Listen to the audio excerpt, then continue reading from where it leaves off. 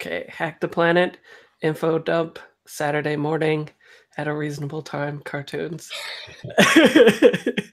um, so this game is a hack of Blades in the Dark. Who hasn't played Blades in the Dark before? You haven't played? I've read a, a bunch of it, so I'm pretty familiar with it, but I haven't actually played. Okay, that's that's fine. So, yeah, dude, I've only played hacks of Blades. Good, that's how I like it. Um, so in this game, we're going to be using the core framework of Blades, which means that you all will be living in a mega city that is um, basically a powder keg ready to to blow. All these factions inside of it have their own machinations. They're trying to get something that they want, and so do you. As a new tier, uh, tier zero gang, but still tier, you have a little bit of power.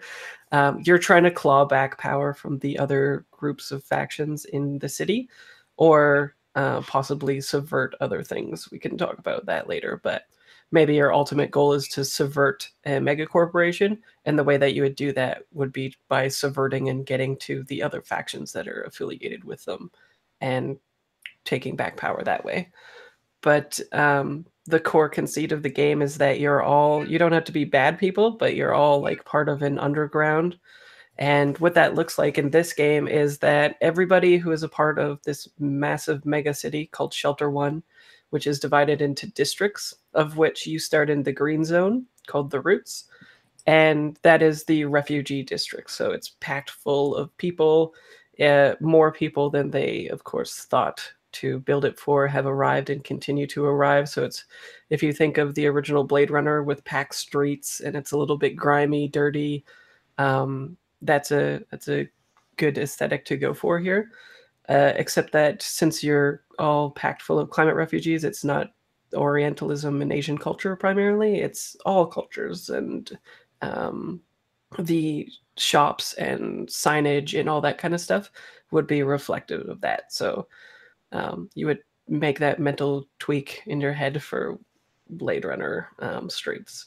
And everybody who is in the shelter has consumed uh, food and water from the main corporation called Nourish.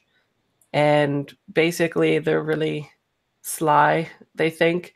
They put nanites in their water and food. And basically, that's what puts all the citizenry on the grid. But what makes you part of the underground in this setting is that you've hacked your nanites to go off grid. So you're literally part of an underground underworld, but it also puts you um, maybe not in harm's way, but the law is looking out for you. They refer to you in a pejorative as uh, glitches in the system. So you could imagine like a Blade Runner type person called tracers in these settings are looking for people like you as well as if you look on your character sheet where heritages are, there are instead um, roots. And your root is how you came to Shelter One, by which way. So a tipper is ironically the the first one and it's it's a also a pejorative in the setting it's somebody who contributed to massive climate shifts which led to shelter one being constructed so all the landscape around Shelter One have been radically shifted. It's not like I can tell you, hey, you're this is like where Toronto used to be or whatever, because climate change has taken place and radically changed the landscape and flooding occurred. The boundaries of what we would call North America or wherever you are have shifted a lot. You could be in the middle of a continent continent but bordering like the North Atlantic or something like that, right? But because there is no more um, internet and data uh, to get you're unsure of where you are and the corporations like it like that they control all, all information. And that is another pillar of shelter one information. So there's three corporate councils that sort of rule the city. Nourish already talked about that they kind of supply all food. They're kind of like the wallace corporation of blade runner 2049 they hacked food and uh, rice and all that kind of stuff and the water to allow citizenry to survive but control them via that way. Information controls literally all information. So if you wanted to hack something in this game to get info, you'd you'd have to like actually hack uh, hack a structure of some kind, or alternatively, sometimes you can hack the existing satellites above. Um, but it's always a risky thing because information controls that stuff as well. And the final pillar of, of Shelter One is called safety.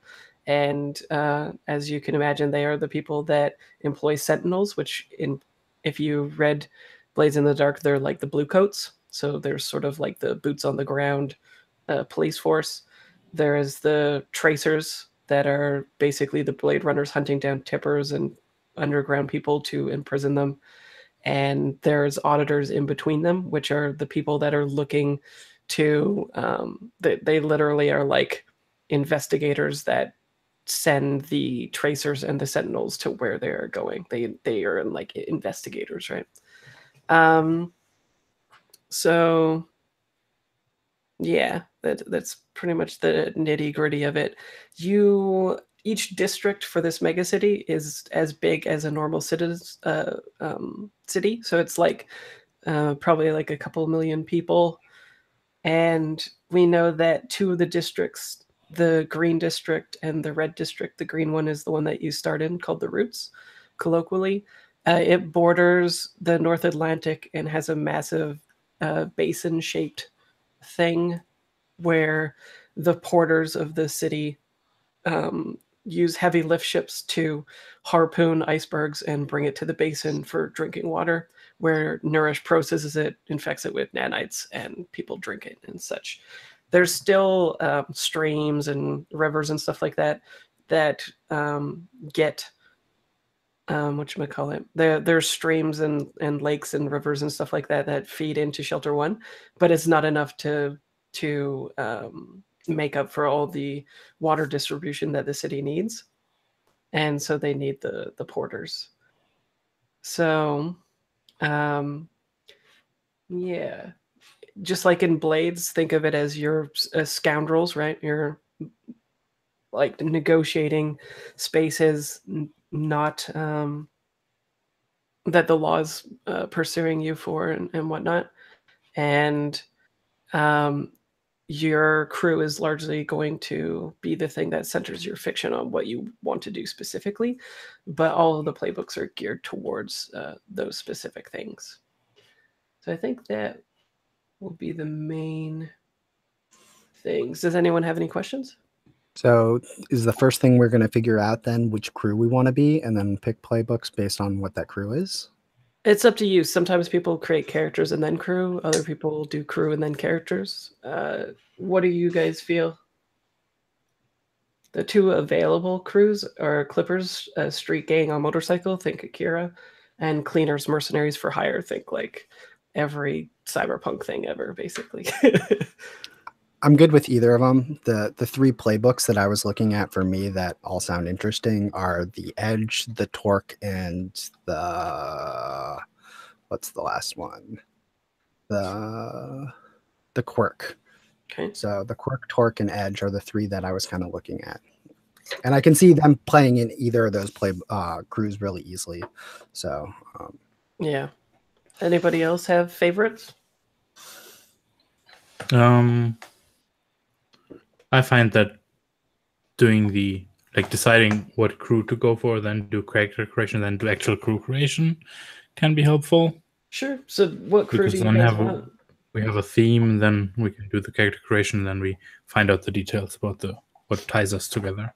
Sure. So do you guys want to be an Akira style gang or mercenaries for hire? So it's essentially uh what is it in Blades terms if you're familiar? I think the street gang for hire would be like the Bravos, I think, right? They're like the ruffians. And mercenaries would be like assassins. If you're looking for the allegories for the Blades game. I think I would lean toward cleaners, but clippers sounds kind of interesting too in a different way. So cleaners just feels like it's more like can fit more general ideas and that kind of thing. Where clippers is probably a little bit more specific. So that was just my thought. But either way, I'm totally cool. The main difference, I think, is is what like what we are rewarded for. If we're Yeah. cleaners, we're rewarded for making uh, successful accidents, disappearance, murder, or ransom operations happen. Yeah. And Clippers, it's battle, extortion, sabotage, and smash and grab operation. Yeah. So chances are you'd be more of the bad guys, I think. Well, you'll both be bad, but this one would be outright, especially if you're extorting people. You're probably extorting, you're always going to be extorting people above you, but it depends how well you, that sits with you, I guess.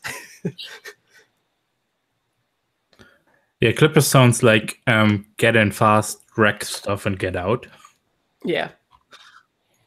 Well, or, cleaners is more professional. yeah. Yeah, and you're looking, you're looking to like start fights with other uh, factions essentially with the Clippers, right? It, well, if you choose battle, I guess you don't have to choose that one, but I'm drawn more towards cleaners, but um, that's just because I don't, I can't really like picture Clippers, so I'm also interested in finding out what that is, what that looks like. Let's just go with cleaners. Let's pick it and do it. okay, sounds good. Okay. And then so now you'll choose uh characters then to fit that archetype? Mm-hmm. Cool. Yeah, so just uh know that your hunting grounds, which is you get um a bonus to gather information and an extra downtime action when you're doing things specifically geared towards either if you choose accident, disappearances, murder, or ransom. So it really does benefit you to gear your fiction towards that, but it's by no means restrictive to only those things.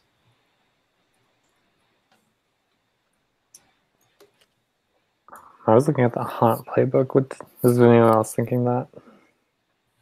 Do it. Which one? Take it. The Haunt. I will take it. Go for it. Okay. So we've got a haunt, and Yoshi has three favorites that aren't those. Mm-hmm. Mike or Matthias or Matthias, is it? Uh, it's Matthias, but Matthias. Cool. Yeah, don't don't worry about it, please. Um. I so I have like a general idea of like the personality of my character, like mm-hmm. of my character, and it fits pretty well into edge, dark lens, or fuse. Um, so if there's, I'm happy to fit into any of those. Whatever you want to uh, pick is fine with me. Beyond that. Um, okay, Matthias, do you have a favorite? Yeah, I was thinking somewhere along the lines of potentially gearhead, but could lean towards torque or lens in that way. Cool. I'm gonna both pick edge because both of you guys said torque, so I'm gonna just be the edge. yeah. Okay. so, and you wanted specifically a gearhead type thing, so the torque, or? Yeah, but but what I'm envisioning could also be the lens. I'm, I'm oh. let me look at the uh, tracking or violence.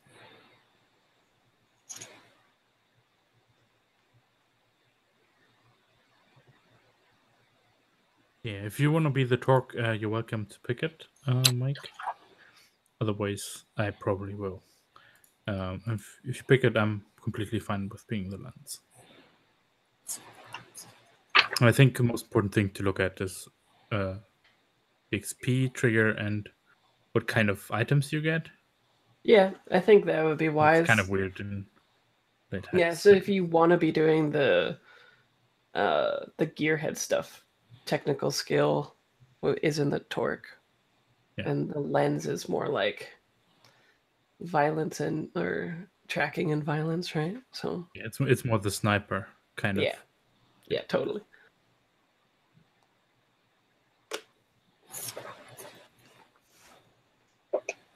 So I'd settle on the torque, or how do you feel? Mike feels like where you're leaning. I would go fuse. I think is where I'm leaning at this point. Okay. Yeah.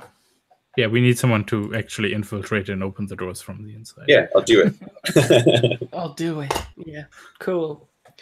Okay, so let's see.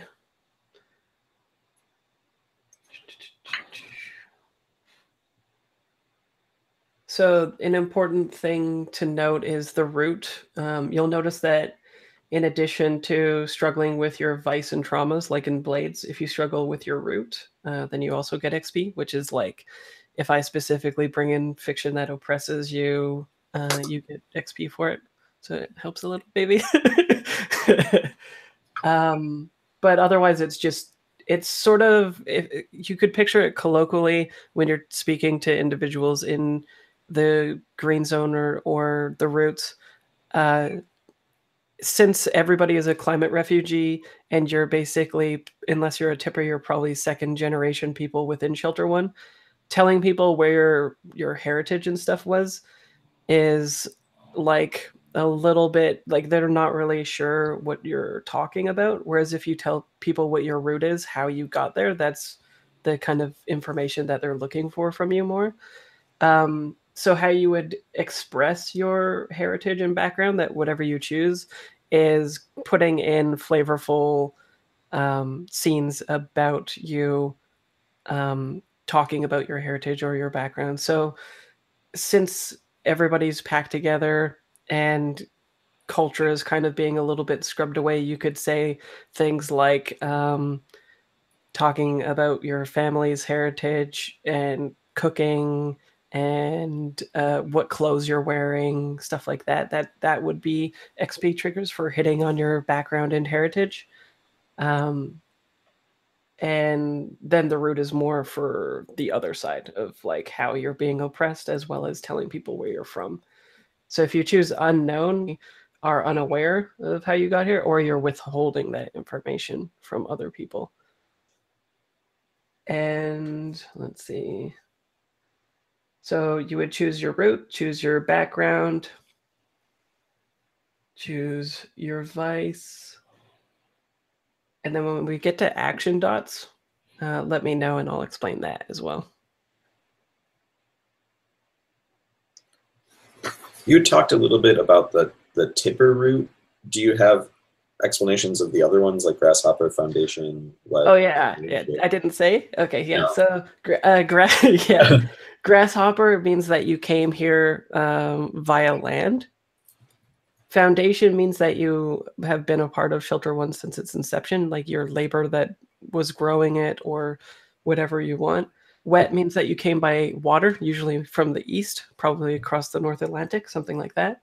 And uh, forged means that you actually came from a community south of Shelter One. There's like a large swath of land south of Shelter One that has a whole bunch of communities that are called forged because they have had to deal with acts of God on their own and are sort of forged in it, kind of thing. They they uh, in the book there'll be numerous communities all with varying um, climates that they've had to deal with and have like some sort of human ingenuity to have dealt with that kind of stuff. So like flooding, uh, freezing, uh, all these different kind of climates, and they're kind of going to be set pieces for climate fiction in the book that people can explore. So you could have also come from one of those places uh, to the city, and then unknown as yeah. Got it. Yeah, yeah. Yeah. Sorry, I thought I explained that. oh.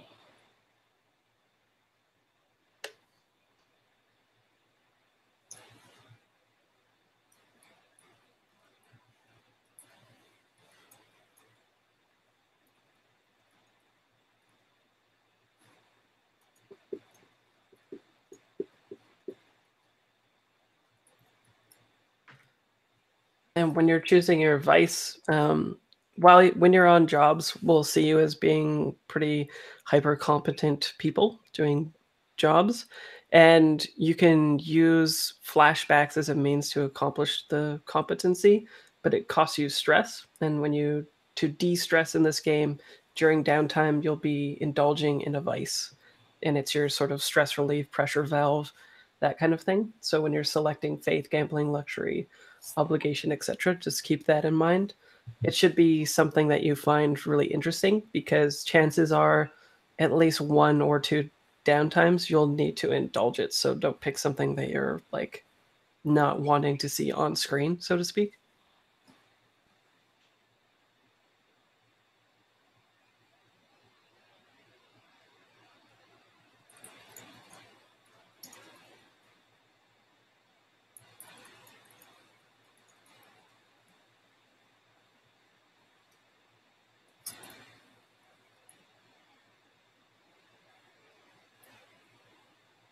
So we're just grabbing root, background, vice.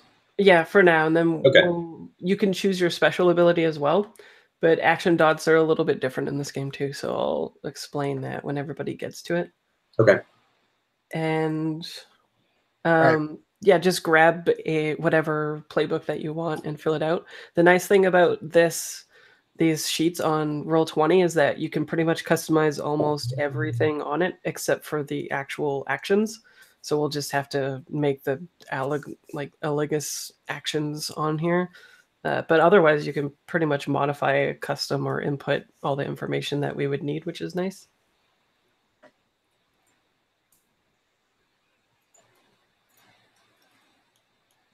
So, Fraser, yep. Um, Tipper, is somebody who started the the whole thing. Grasshopper, is somebody who moved here. Foundation was born here. What came from somewhere else. Forged was what? uh, communities outside and Okay, then cool. basically yeah came from there after uh, foundation doesn't mean that you were born there but it could have it just means that you or your family Okay, are foundational to it like you started building the shelter got it. yeah I am totally forged, and I'm think if I'm doing underworld, could that totally be like um, just like general crime and thing like that? I think uh, my character is probably involved in underground fighting. Is how they became a good fighter. cool yeah i'm down for that Cool. So I'm gonna put underworld. sure Is my character sheet Struat Jagoon right now? uh, yeah i guess so Okay, They- I they- don't- when i created them they just do random names. Yeah. I just didn't if that was somebody else's that they were working on. I didn't yeah it looks like the other ones are claimed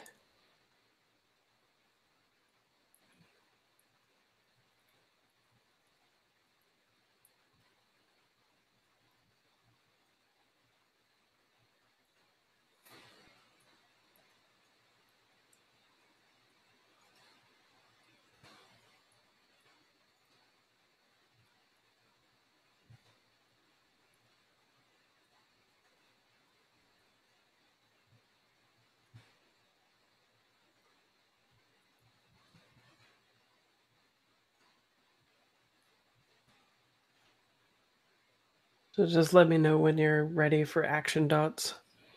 I'll give my spiel on that. I am. I can talk a little bit about my character if people want to know a little bit about me. Sure. Cool. So I am uh, Caslin uh, Karstos. Uh, my alias is Cross. Uh, she, so uh, female pronouns, uh, is athletic, muscular, stout woman with a like a short, dark uh, mohawk that like even if it there's nothing, no product in it, it doesn't come down past her eyes. So like she never can get like her vision obscured from it. Um, and she's called Cross because um, at one point she has like a scar that you can see like on the left side of her face um, that would be like a scar where something opened up but she got a tattoo to basically turn it into like the very anime like star cross like uh tattoo. So like it looks like that although that's not what the original scar looked like. She's like fuck it i don't want that scar. I want something that looks more badass. Um, so that's what she's got. And she's got like light brown skin um, but um, I think she's probably like medium height, so probably like five eight, five nine. Um, but again, um, like heavy set for that height, um, like muscular and strong. Cool. What uh, starting Oh. move did you pick? Or Um, ability?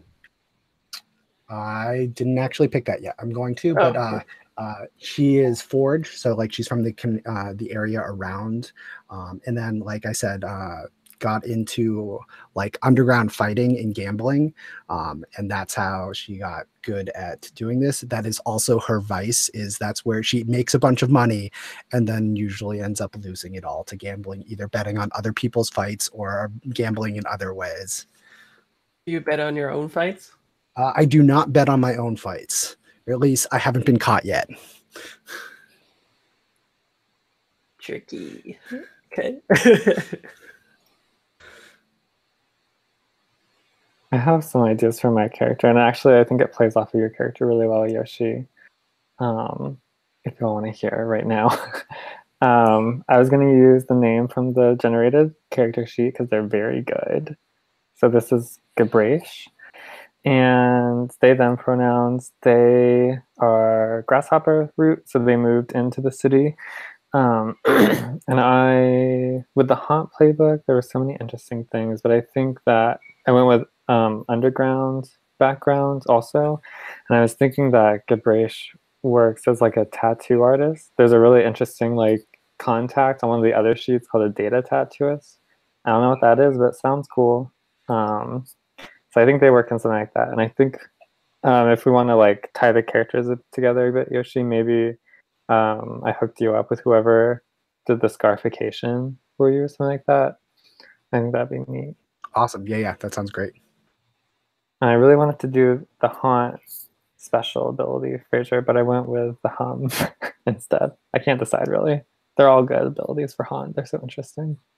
Yeah, yeah, I really like haunt because it's something that in games people seem to miss a lot about hacker culture, right? That it, mm-hmm. is a subculture. So I made I made the subculture haunt so you know what a haunt is, which yeah, so I think it'll be it'll be cool. And a data t- tattooist, basically, I actually got it from a, a, really cool book called Data Runner, where everyone in uh, they work for like different corporations in that one, but basically they have a tattoo, and within the tattoo there's like a subdermal uh, package, so people can upload and download information from those tattoos and they have to literally like heart like parkour to their destinations um, to get it uploaded and downloaded and they call it their wing because every tattoo is usually a different kind of bird. So yeah it's pretty that's interesting yeah, maybe they do like data tattoo stuff and then also like actual tattoo stuff and then presuming that moves through the underworld i think that that works Oh yeah, it's definitely underworld, um, mm. and it's highly competitive. And other gangs and corporations and stuff like that are always trying to intercept these runners, right? Oh, nice. Yeah, That's and it doesn't have to be a like in the book. It's a, a bird and stuff like that. Mm. That, but in the in this, it can be whatever you like. Birds are maybe okay. Maybe they're just turtles in this in this world. Yeah, well, it's their it's their call sign, and then one of the famous lines from it is like the arm that carries the data that's your wing right uh-huh. so, good i highly good. recommend it it's really good it's from sam patel hmm. that sounds good i think you mentioned that for the honed playbook in the veil didn't you yeah that was a theme, yeah. Like, parkour parkour uh, I was thinking for my vice of doing faith. I don't really know what faith looks like. I don't know if you've come up with stuff like that, but um, I don't know. no, think... Faith. Uh, I haven't. I haven't gone through the vice sections. Eventually, it'll look like Blades, where it'll have the suggested purveyors for all around. Mm-hmm. But right now, I don't have that codified.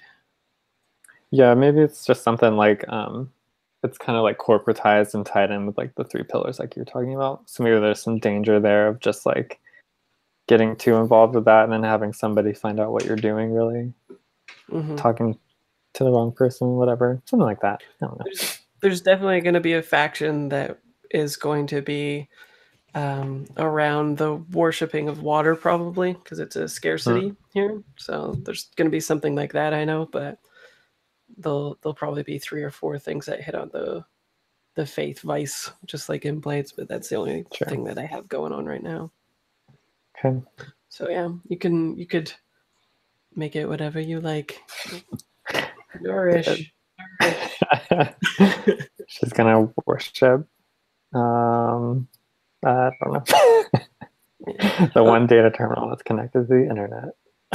nice. Well, you can hack satellites too, right? But it's always a hmm. risky role. Um, if you guys want to do the same as what Yoshi did, that would be really helpful. If you hit the top right corner for my settings, the little gear in Roll20, and then change your display name to your character's name and their alias uh, pronouns and then character name uh, or player name that would be great so that whenever anyone's in a scene with you, they can just quickly glance and see it.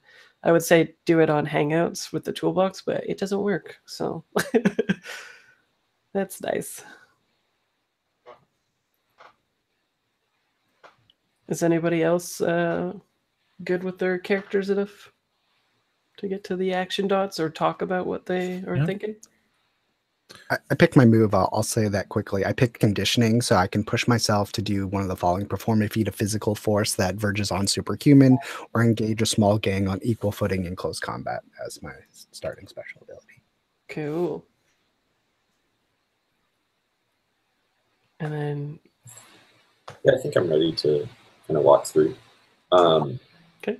So um, her name is uh, Ye Ji, uh, kind of a 70 year old Korean woman, um, craggy, wrinkled skins, kind of like your, your kind of Korean grandmother kind of character.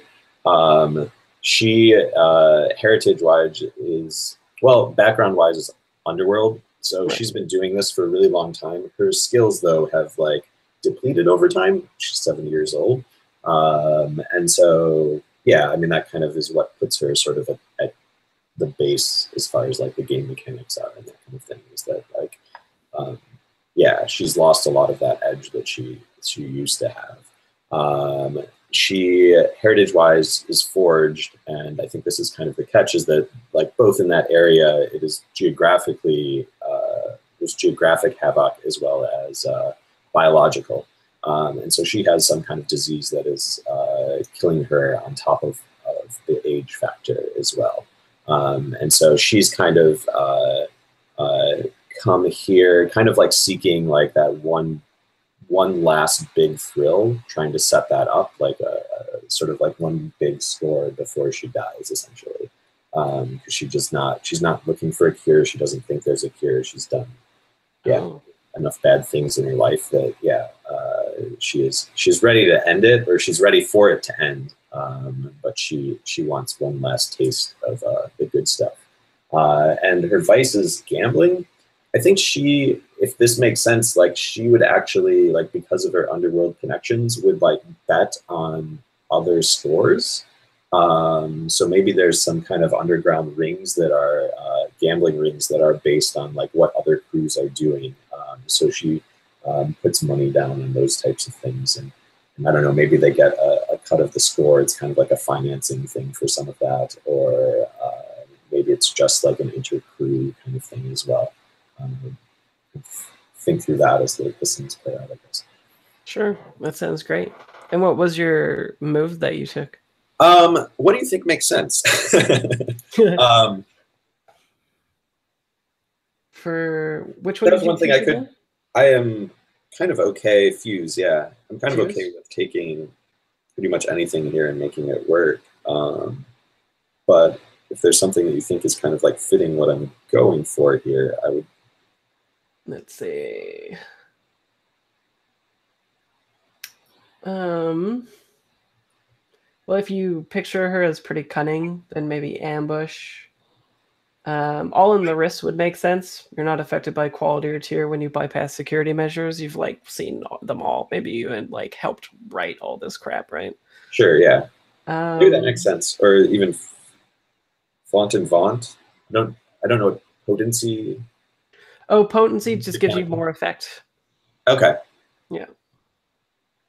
Um, so regarding, yeah, I think pretty much all of this stuff, you could see it as yeah. like maybe not reflexes. It would be fun. I, I, would like you to take reflexes later on so that we're sort of like anti-ableist, right? She's all like, "Oh, I'm over the hill" and stuff, and then suddenly she has reflexes and she can like fuck people up real good. I would like that. I think that could definitely happen. Um, let's do. Yeah, for now, let's do all in the wrist. I think that makes sense. Sure. And that's really powerful. You bypass all quality and tier, so it's basically like an equal chance to bypass any security measure, which is pretty insane. It'd be like, yeah, it, I think it reflects your your knowledge and stuff, so should be good. And the Steve. Yeah. so maybe Steve is not a common name anymore. Yeah. Uh, So he's only like really known by that. He's the Steve. Um, but he's actually uh, born and bred foundation, maybe like literally bred foundation. Who knows? Um, with a labor background as well. Um, and I think he got into being maybe volunteering for some uh, experimental cybernetics or something like that, right? Um, and has been uh, learning to actually like self repair that kind of stuff. Uh, and right, that often needs like uh, um, replacement parts that are not easy to come by, and thus slipping off into the more uh, illegal uh, domains. So that's maybe the origin story. We're further along by now, and I think he's someone who's uh, who kind of hides his um, uh, working origin past by like pretending to be more than he is. Um, and his vice is, uh, I was thinking stupor. I think maybe some kind of technology was developed to, well, if we need to put people into long term sleep, right?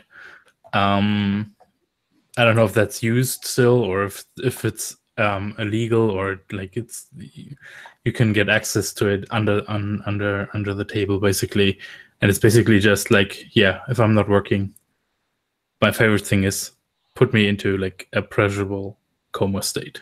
Wh- When I wake up, I don't even remember what I was dreaming. Maybe, Uh, or maybe if I overindulge, I sh- do remember and have weird visions. Who knows, right? So are you saying that you're the cyberpunk flatliners? Yeah, yeah, kind of. That's funny. Cool. I like it. Okay. Um, so as far as action dots go, in this game, uh, I've changed it up a little bit. You put three down, and just like in the core of Blades, they want you to put one dot in what you feel reflects your character's heritage, one dot in what you feel the character's background reflects for the dot. And then the last uh well the last two is normally in blades left to you to put wherever in this one you have the one to put wherever and then the fourth one is optional and it ref, uh, reflects a piece of cyberware that you have installed and the fictional positioning you get from that cyberware so if you had a cyber eye for instance you might put it in study or survey because you're better at that right?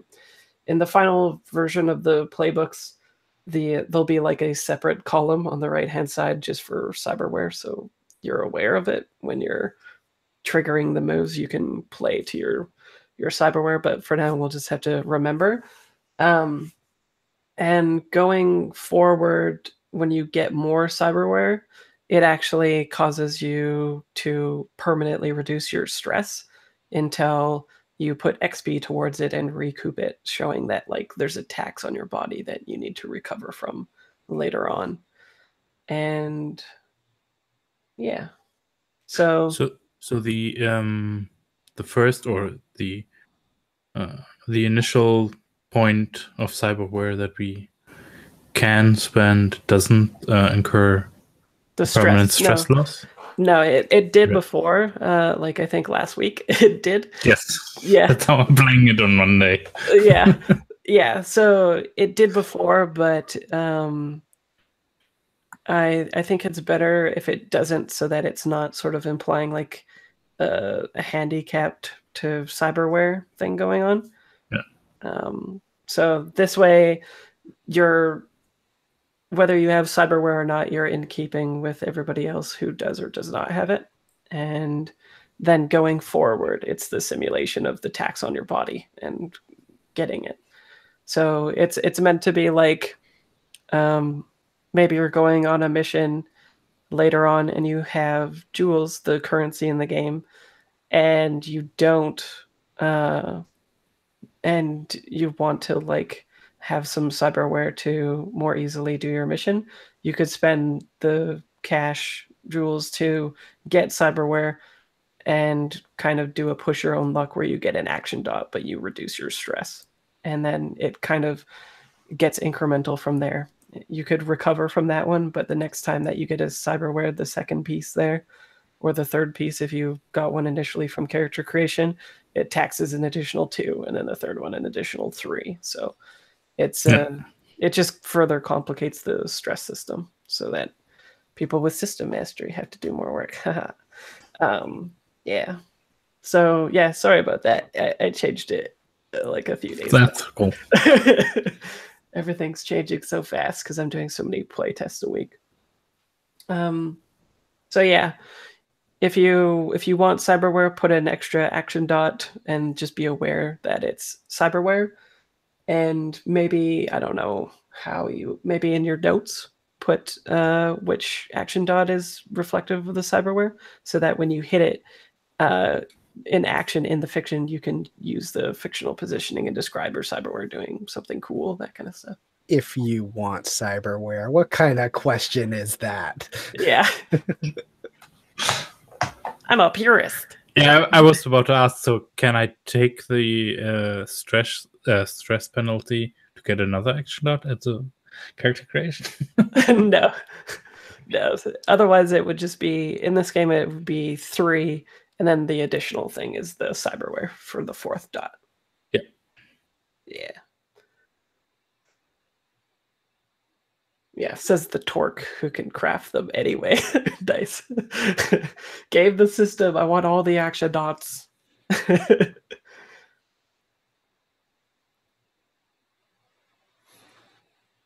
once people are done action dots, let me know.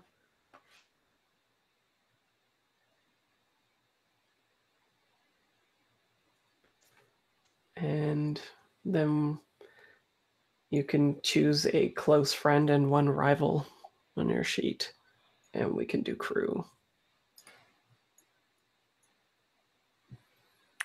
I'm finished on my action dots. cool. So choose a after you're done the action dots, choose a friend. You choose the up arrow for somebody who is a, a close relationship, good friend, lover, family relation, etc. And uh, choose another on the list who's your rival or enemy. Mark the downward one on that. I did that too. Whatever, Darren. Okay, you're just a keeter. I did this. We did it like three hours ago, so still Yeah. still fresh. Darren played in the game yesterday as well, so ahead of the game. Yeah. Um, Frida, how do you feel about me having well, not me personally, but my character Yeah.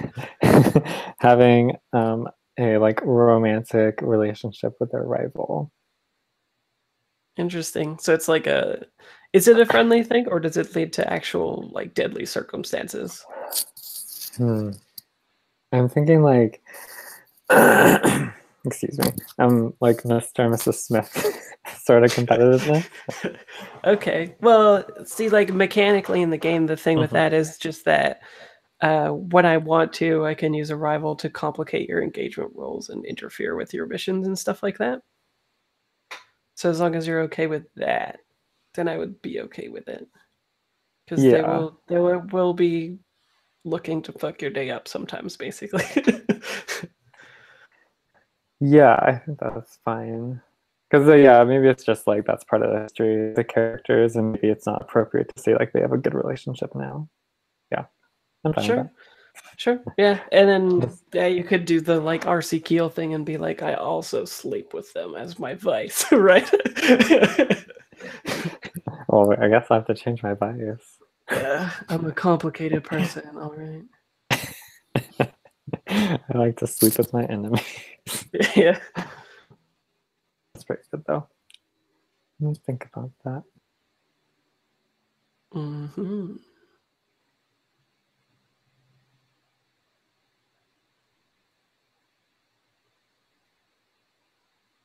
How's everybody else doing? Action dot and friend wise.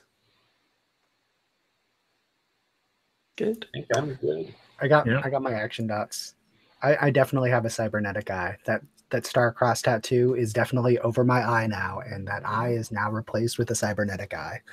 Nice. Does it look like a normal eye or Um, I think it looks like a normal eye um, from like a distance, but like maybe if we're like standing really close together, you can see that it's it's not. Um, I like I imagine it as something where like I can. Uh, it's more than just the eye. Like I think there's probably some like port or something where like I can export video, like it records things, and so like I can uh, like save video that I've seen, and also it like helps me like uh, analyze things. So like it gave me a dot in uh, survey basically um, to Cool. kind of uh, like be able to look at details in the scene and like kind of figure things out. Cool? And so is it like a Blade Runner thing? In the darkness, there's like uh, that red residue thing on the eye, so people know you're a replicant. Yeah, Something like that. Like I, I think there's definitely like uh, it allows me to see a little bit in low light, but it al- probably also gives me a way that like if Yeah. somebody in low light they look at it, they can see it. Cool. Everybody else is good? Action dot and friend wise? Yeah, I think I'm all set. Cool. Yep. And so, um, Mike, you haven't played before, right? So Correct. when we're about to do a score, what you'll do is you'll choose your load. There's light, normal, heavy. Okay. Light is people can't tell that you're basically going to a job. Uh, normal is like they can tell you're packing, and heavy is like you're the Matrix people going into the lobby with all those guns and shit, right? Got it. And uh, so all of your items, you don't choose them now. They all exist in a state of potential where you can use them at any given time on a job. And you would just mark the items as you use them, and you can only mark as much as your load. Okay? So don't need to do anything with your items. Uh, if people are familiar with Blades in the Dark, there's still Devil's Bargain, but it's called a ripple. So a ripple effect, something happens later on and it also hits on sort of like the scarcity of water and myth, myth all stuff like that. So let's see, that's done. Let's do crew creation then. Alias looks, yep, seems like everything's done. Cool.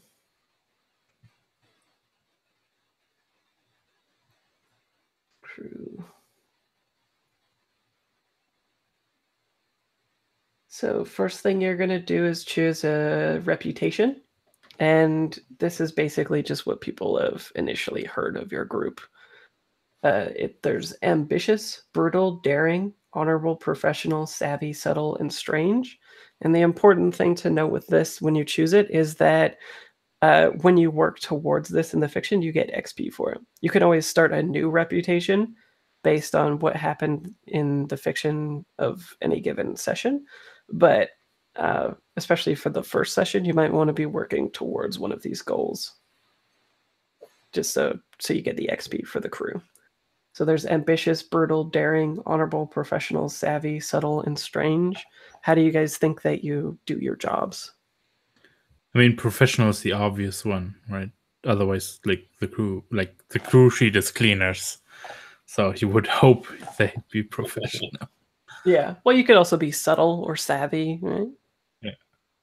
Like I kind of like professional, and I think with like the three underworld characters, I think that makes sense that we would, in practice, be pretty professional in that world. hmm Is everybody it- okay? with I that? think this al- also says something about us that we're doing this for the money. Right. Right. Like we, we're not like idealists or something, or like maybe someone is uh, in secret, but uh, Well, this first is- glance, yeah. Th- that's the image you're projecting anyway, right? To everybody Yeah. else. Right. Cool. Okay. So choose professional. Somebody, uh, if somebody wants to take I can- possession of the crew sheet, I can Alright. if, you- if if nobody else wants. Sure. Whoever wants to, just be marking this stuff down as you go. So you're professional. Um, for your base, or in Blades, it's called a lair.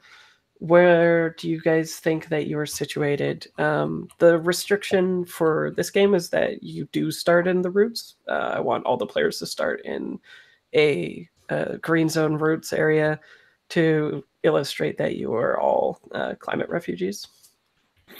So, where do you think that you have been? Um, to give you an idea, the first crew that we were playtesting with, the wired ones, the vice dealer people, they chose like a their front ish place is out of the blue oolong tea shop there.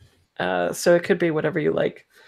For the blades suggestions, it says a half sunken grotto, abandoned watchtower, unassuming back rooms of a merchant shop. So that's what those guys went with with the tea shop. Small abandoned house, rickety tin shape, uh, roofed shack, a junked rail car, stuff like that. It could be whatever you like, but it's probably since you're tier zero and don't have much money, it will be someplace not very nice, most likely.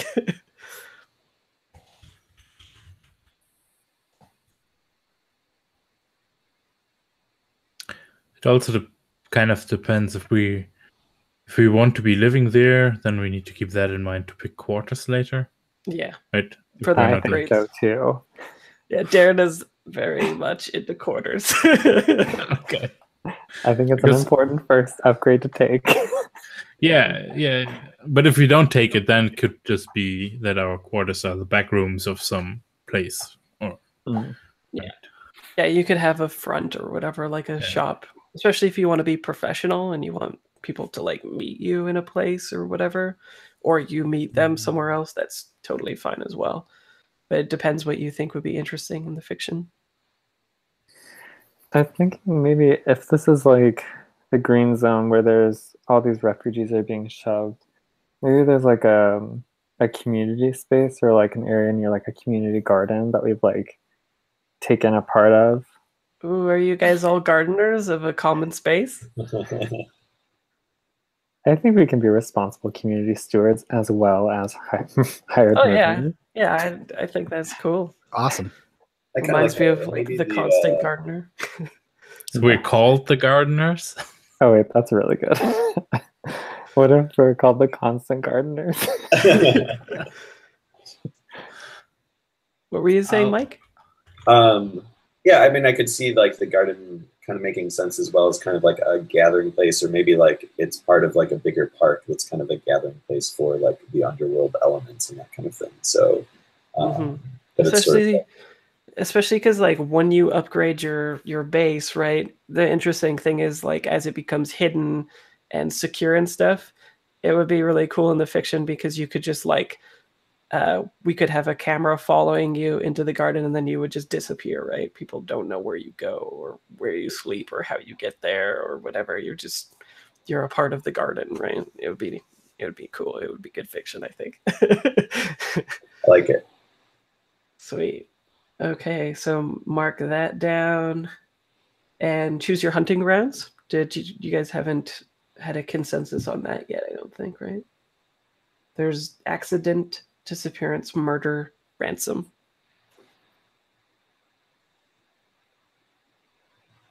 It could be something else too. Those are just examples that you could choose from. So if you have a different thing that you want to go for, feel free to Yeah, offer that. Might be worth looking at what we're good at. Mm-hmm. Yeah, so you have a fuse that infiltrates, right? You have an edge that's really good at violence. Yeah.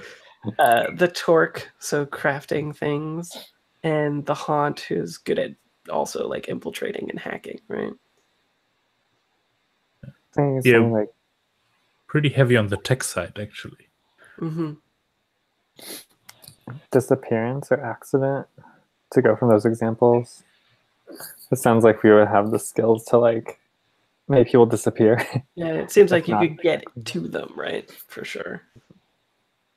And also, it might be a good thing to aim for because just like in Blades, if somebody dies uh, who has nine nets that are not part of the underworld, they are aware of it, right? Like they go off grid because they're dead.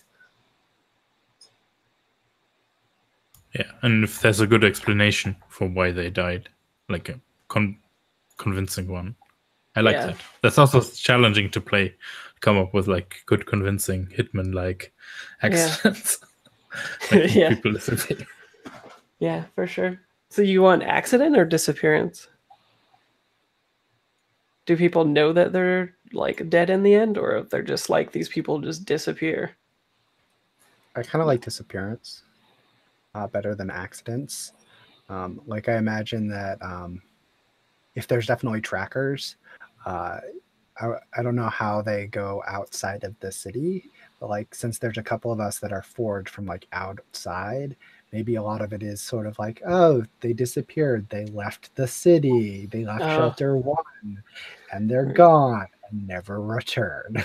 Nice. So you have contacts in the forge, and you just like make sure that they're alive when they cross the boundaries. Then the Right. signal dies because they're gone, and then who knows what happens to them or whatever, right? Cool. Yeah, I'm sure there's lots of different ways to go about disappearing people because at the end, the thing that tracks them is technology, and you guys seem to be good with technology. So cool. So for now, you can put disappearance, and if it ends up that you're working towards something else, you can add an additional one or change this in the future. But for now, we'll just uh, do that. So let's see. You chose your hunting grounds. Uh, why don't you choose your upgrades first before we do all the faction stuff? I think that would make sense. So you have two pre-selected things, insight and prowess, which means that when you have a downtime action to train, you get two XP in those two things instead of just one, which is pretty good. And then you have two extra things that you can assign to to whatever you like. Just bear in mind that the two, um, if you do cohorts or add a new type of cohort, uh, it takes two instead of just one. So it'd be all of your upgrades spent in one go. So, yeah, and I know Darren likes quarters, so We had a strong voice for quarters already, right? yeah. I also have, I think, That I also means we're roommates. yeah, at the so that's important to keep in mind.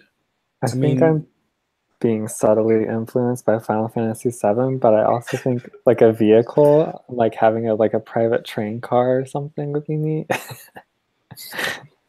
like a very small part of Final Fantasy VII, but there. it Yeah. is. Okay.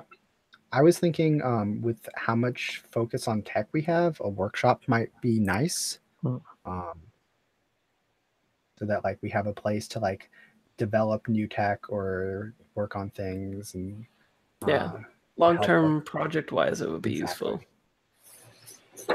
Yeah, Yeah, I wouldn't say no to that. Playing the torque. So you can sleep and work there. Good. You're already a part of capitalism. I was Secretly. gonna say I think that makes sense for community space, but Yeah. So Awesome. are you are you going with that then? Quarters and workshop? I'm Yeah. good with that. Yeah, yeah, yeah, that's good. Cool. That was easy. And you start with weak hold, tier zero, no rep. And oh yeah, I should explain jewels a little bit. So in this setting, the prison is people that are forced to do manual labor and they craft jewels. If you think of uh, have you ever if you've ever seen glass work being done where it's very malleable and they uh, mold it into a specific shape and then it hardens and then it becomes the glasswork. It's kind of like that. The the more skilled laborers craft those shapes, which are called jewels, and then physical labor charges those into uh, the technology that we use today in this setting. So your the jewels power your technology to your weapons, and then huge crafted jewels below buildings and stuff are the things that charge those.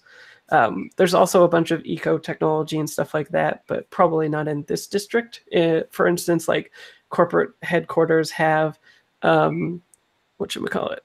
Uh, I can't remember the technical term, but it's essentially paint on the building that absorbs uh, solar energy and uh, they can power their whole building like that. Um, but in this district that it's very like low tech stuff. So all the taller buildings here, you can actually see the old school uh, solar panels up there. And what that means though is it's a little bit of a dangerous district as well because the sun is so powerful in these days that if you get caught out in the open, it can actually like have a very detrimental effect on you very quickly.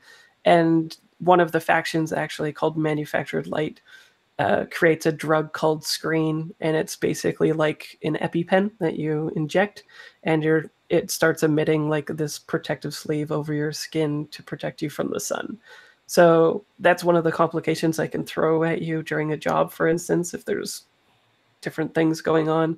I could always have like uh, solar panels changed a little bit and the sun's on you guys and you need to inject screen and I take up your resources, that kind of stuff. But that's the the type of setting that we're going for. And um, so tippers and underground people that are caught when you're in jail, you're doing free labor for people charging these jewels. And it is also the primary commodity of that because it comes in so varying amounts of sizes, right? There's huge ones, small ones, everything. And also I needed something that forge communities would actually give a shit about and and like see as a commodity. So it's inspired from the wind up girl where uh, these communities also need jewels. They need uh, power for their technology. So it's something that you can trade whatever you want with whomever you need, and uh, they can be as big as small as we need in the fiction. So does that all make sense? Cool. Then let's go to you guys pissing people off. Yay. Okay, so yeah, do, do, do. let's see the community garden. Let's see who would be angry at doing essentially your your hunting grounds when you establish it there is a faction that was already there or is wanting a little bit of a take from you guys i think you're not close to the basin let's see let's do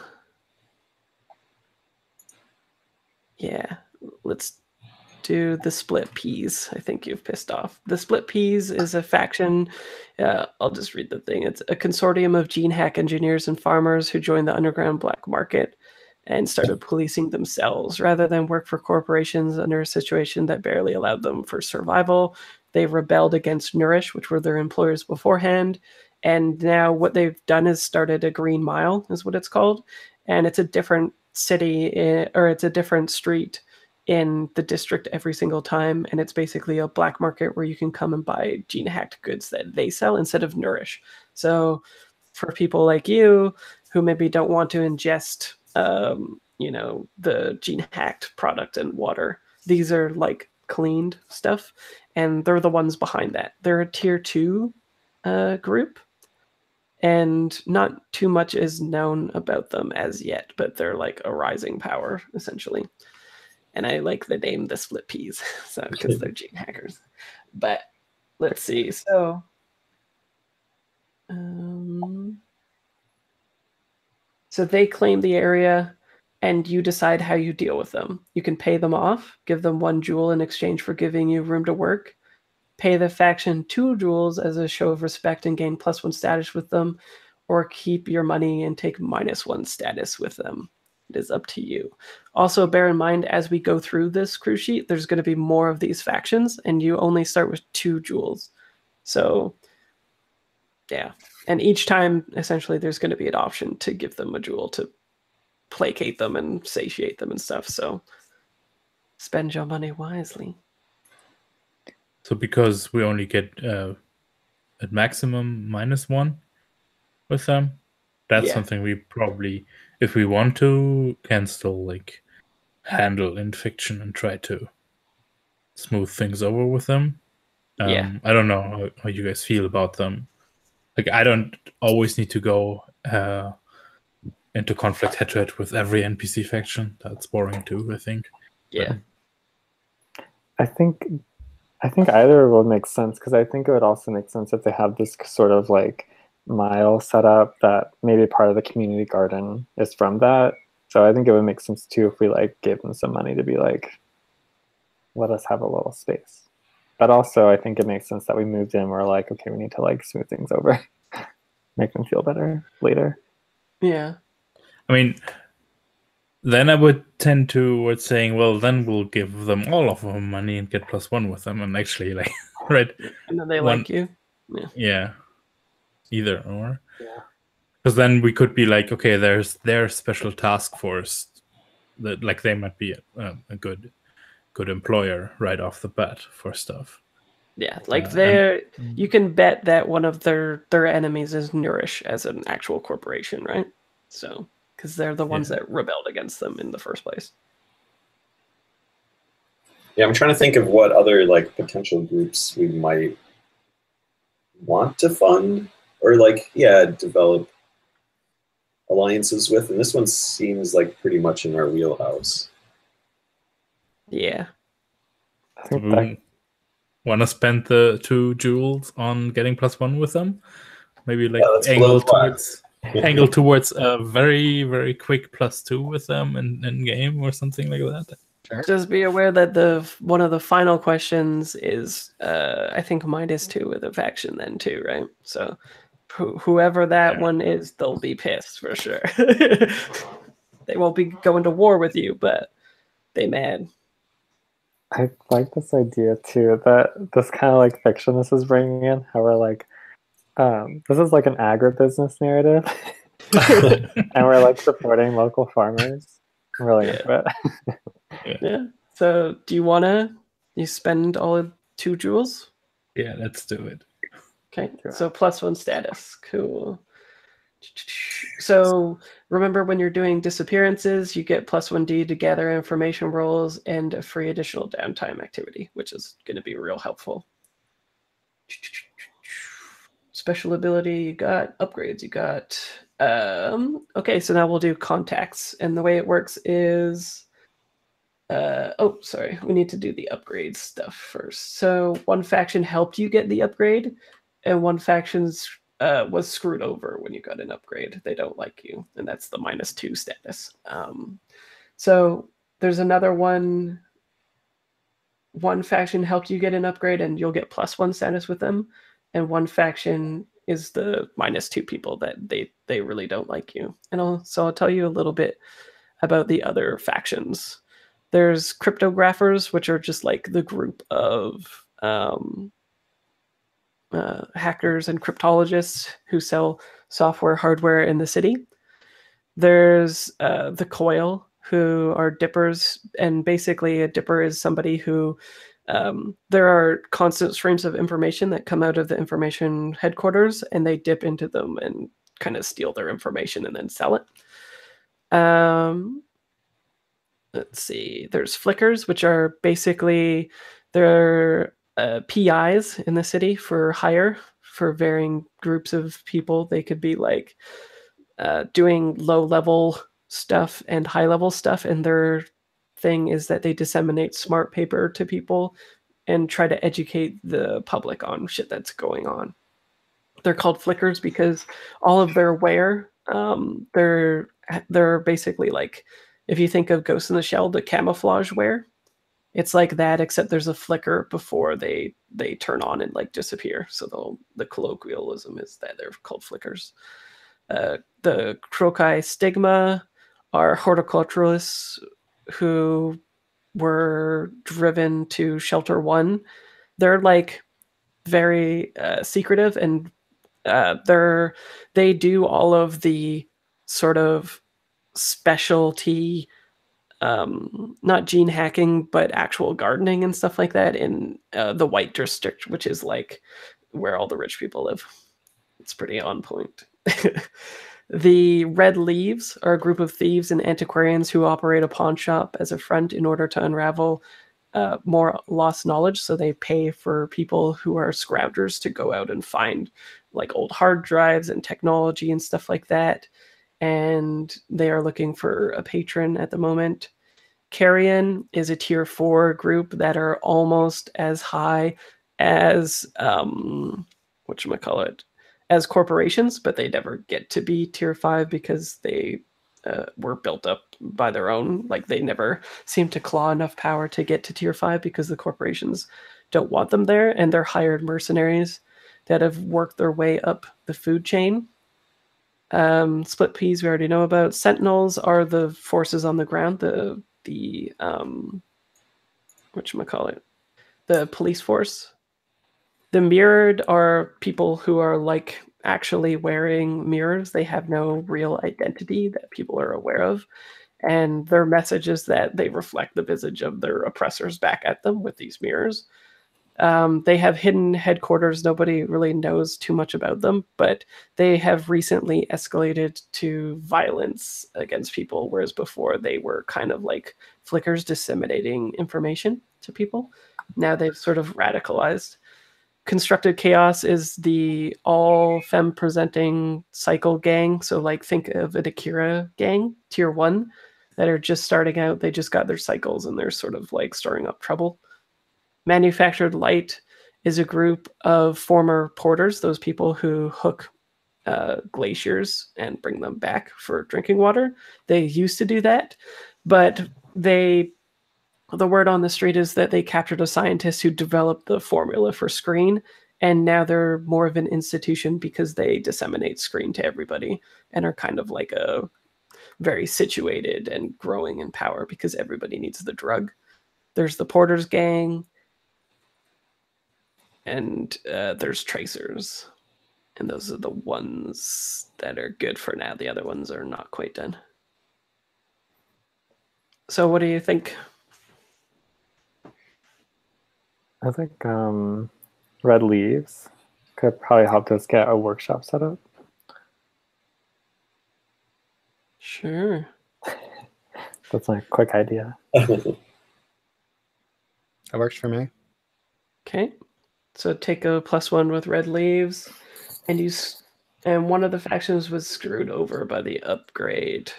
Um, one of the upgrades, and you have a minus two with them unless you give them a jewel you don't have. So who do you think pissed you pissed off with uh, getting beds, basically, right?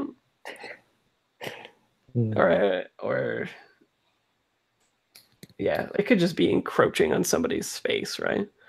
So Yeah, I feel see. like the the cryptographers of the coil, because we're kind of like we're pretty savvy about getting information and knowing where to get into things and that kind of thing. And so I feel like maybe like yeah, we kind of like moved into their turf just thinking like ah like I guess I shouldn't use turf because that's the a technical term, but yeah, uh, yeah, um, yeah, kind of moved into their their area. Kind of, we're like, uh, if, if we get this, like, who cares if we upset them because we don't need them. Okay, we're a little arrogant about that. Yeah, Sure. we got the scoop on them on something, right?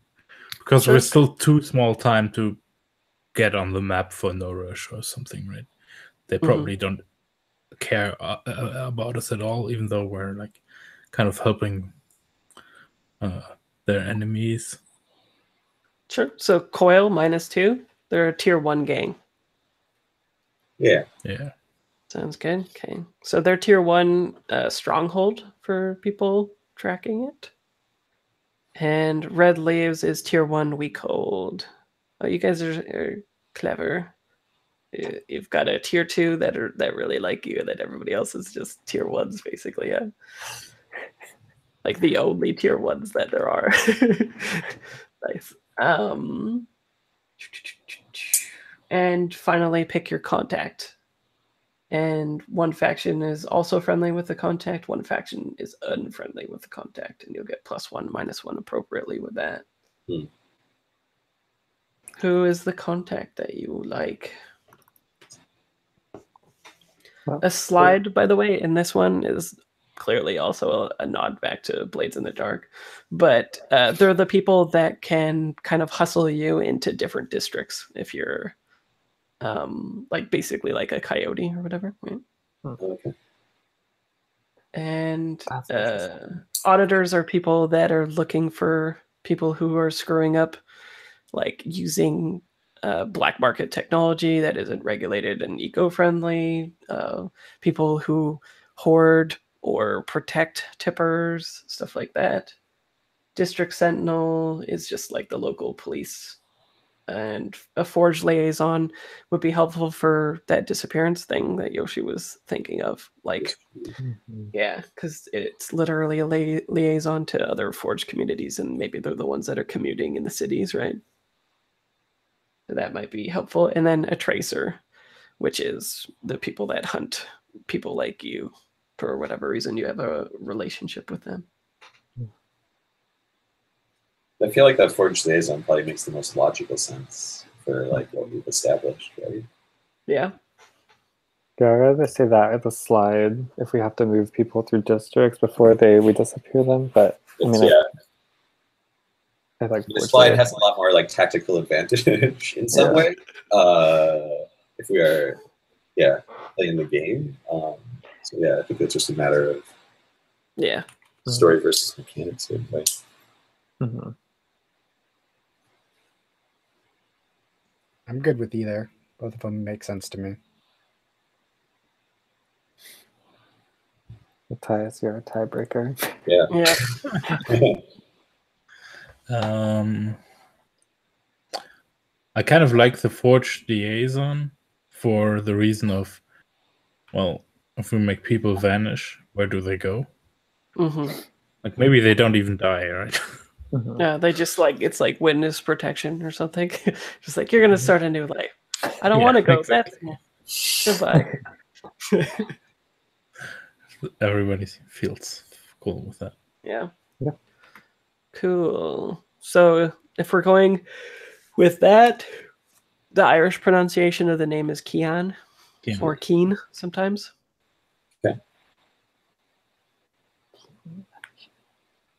We also get to pick a special ability, right? Uh, yeah. That's yes. You still get to to do that. Thank you. no special abilities for you.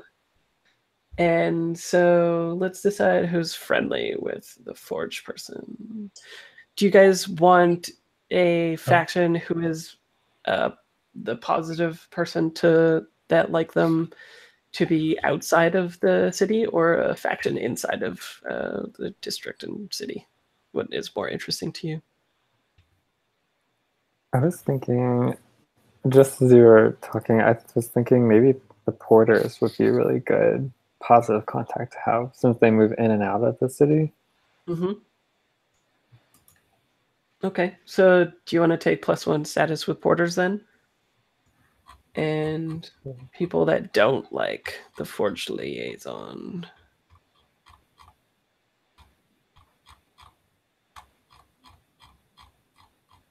Hmm. Maybe that could be like, um, I can't remember if you have a faction set up, but for like the auditors in general, that since this is like multiple abuses of like jobs and positions, Mm-hmm. maybe it makes sense that they would dislike this like contact who's who's like manipulating all these other groups. Sure. I like that.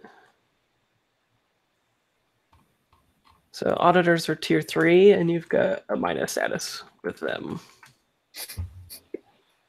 Probably not great mechanically for us, but hey, it makes things interesting. Mhm. Cool. And then choose your special ability, and we're good.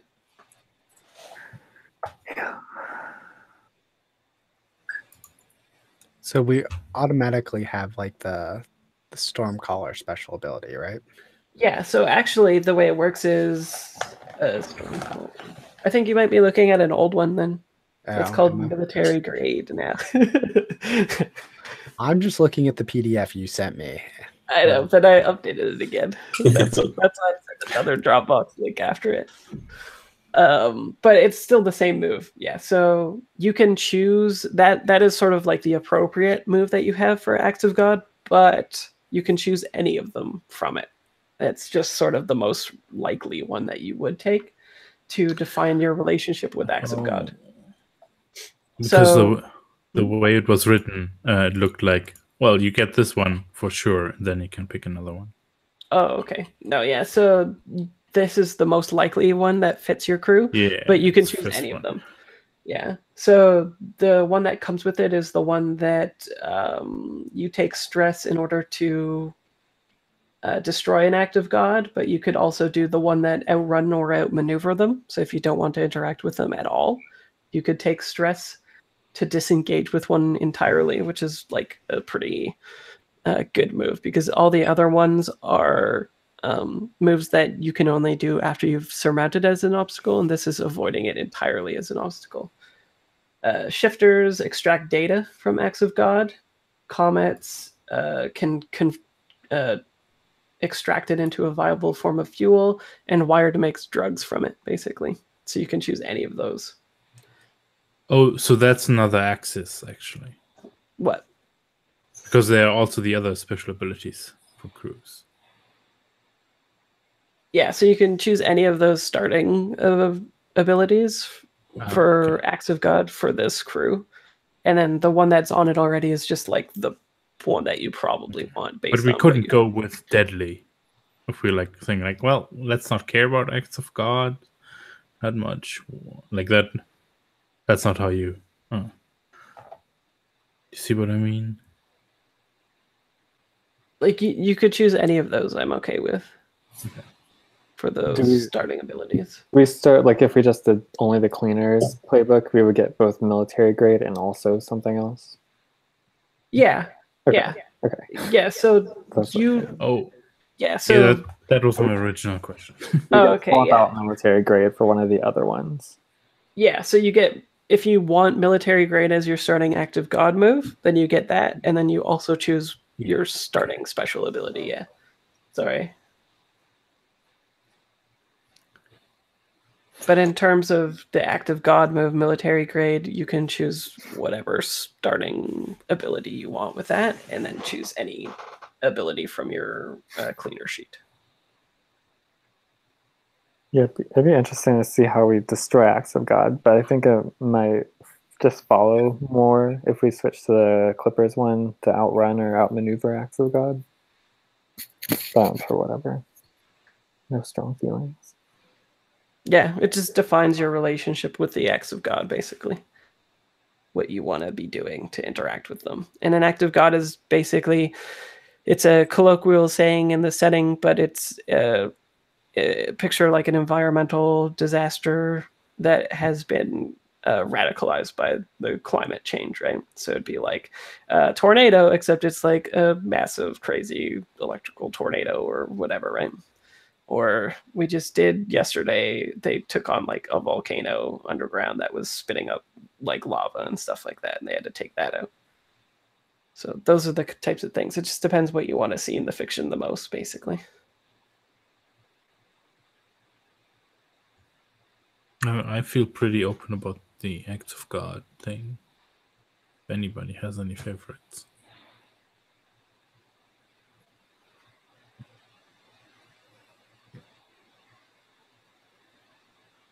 I mean, I'm a little bit lost, but that's okay. Um, I'm all right with either keeping the military grade or switching it to the Fast and Furious, the one from the Clippers. I think both of them make sense. I think the military upgrade um, sort of makes sense with a bunch of like the tinkering and things that we have that maybe like um, we, especially with some of us being from Forged and so on, that maybe we've had experience and that's the hard one or the hard won experience that we've had out there. Um, I could see that we definitely have something to like overcome it. Mechanically the way acts of god work is i have a clock that i tick every time that there's a downtime or a mission. And when it gets filled an act of god happens and you choose how you interact with it. So you could be out like one of your special missions. Once it ticks down is you could go out there you could kill it and that would be the score. You'd get the money from that.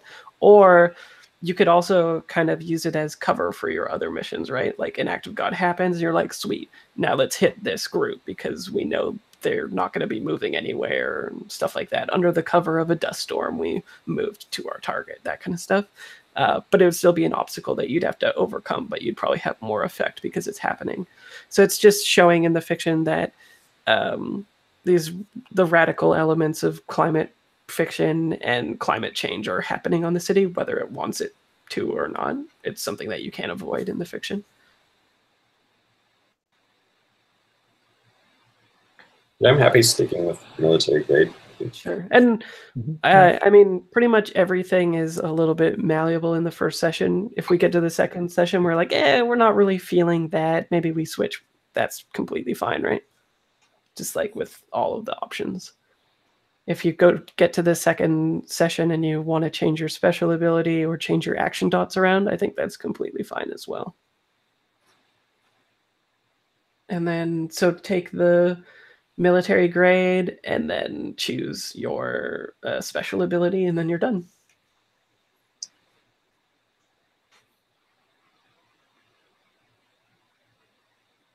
Here's a way to make this super easy. Uh-huh. um, uh, because just picking deadly is super worth it in the beginning. Getting the bonus action dot for everyone uh, that can even push potentially push our edge up to a maximum rating of three somewhere. Um, so that's very powerful, and also because we have uh, two more tech-sided people, and we're playing cleaners, will get like more competence in that direction as well unless someone has like a neat idea, for example, for why we don't take heat when someone vanishes or gets killed. Like, yeah right, those other ones are interesting, definitely, but deadly can Like- just be like Yeah. it makes us super competent as a starting point. I feel. Yeah, I like deadly. Let's do it. okay so mark deadly and then anyone can mark a extra action rating and trace ghost or combat. Tracing is the hunt um, skill of this one. So to find somebody to trace them is the colloquial term of like taking a sniper round at them that kind of thing. Ghosting is the physical-ish stat where you're trying to like be stealthy you're supposed you're going over obstacles physically um, stuff like that and combat i think is self-explanatory. You're combating somebody.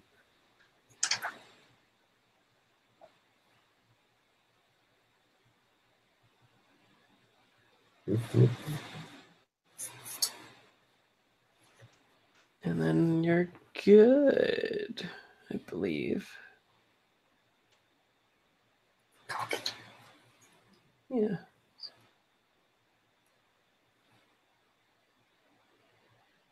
Yeah you don't have a gang to start out with so we don't have to worry about edges and flaws. Yeah. Another difference with healing in this game too is it's, a little bit more swingy. Um, if you're healing in this game what you're doing is essentially taking a, a recharge. You'll notice that's an item in your um, sheet.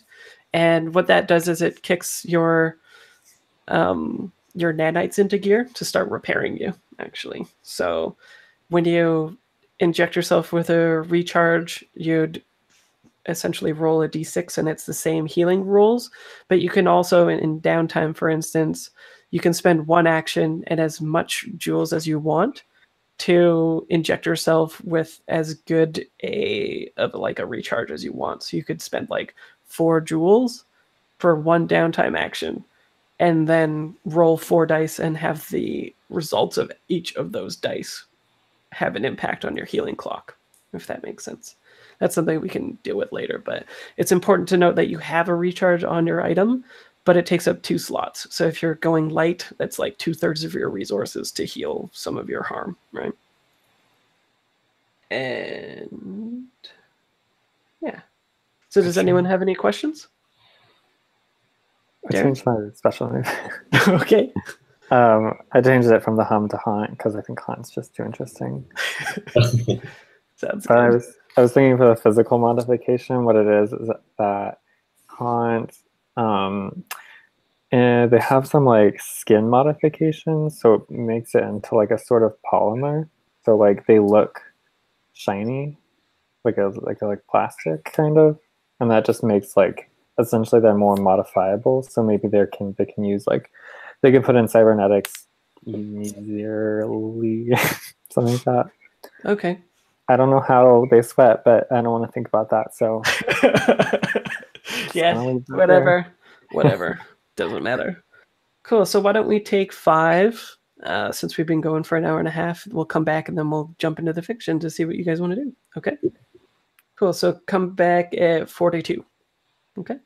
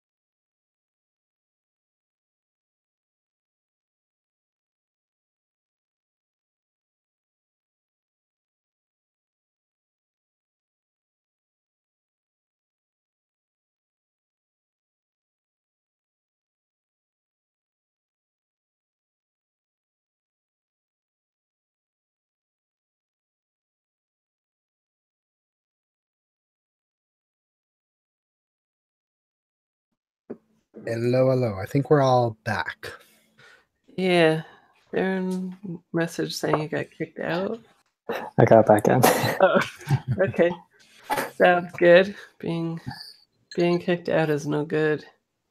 Yeah, I like turned away and then I looked back and it was like your computer went to sleep, so you were disconnected. Oh wow. okay. That's that's rough. Yeah. Oh, Yoshi, are you back? Oh, just eating off screen. Sorry. yeah. Call out. Okay. Um, let's see. Do people have a specific idea of what they want to do first, or would they rather get like a opportunity from me, or or what?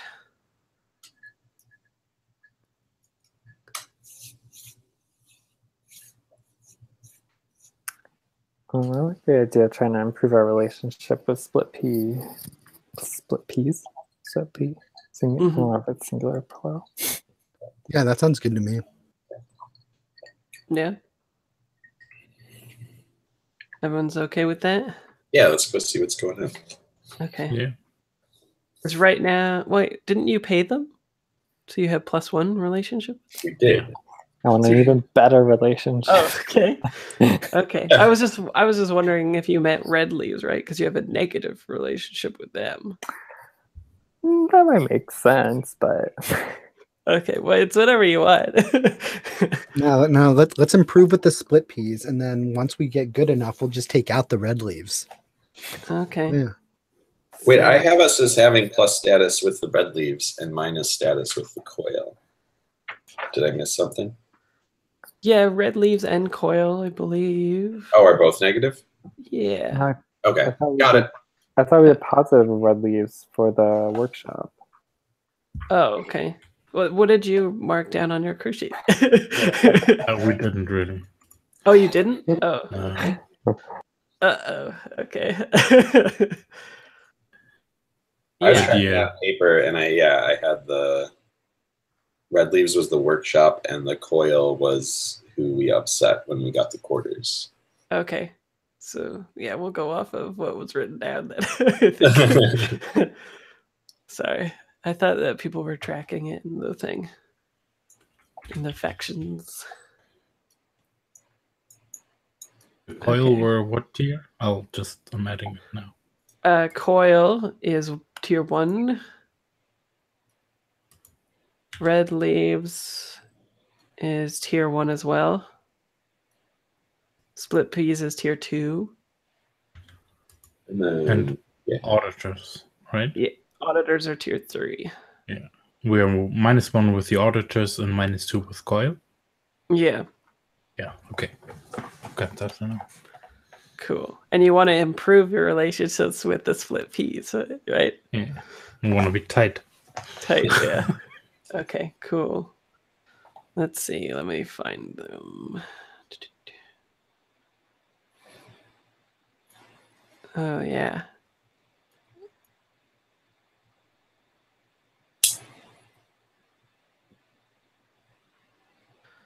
Cool.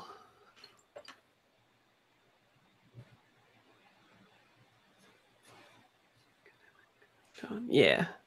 Cool. Okay.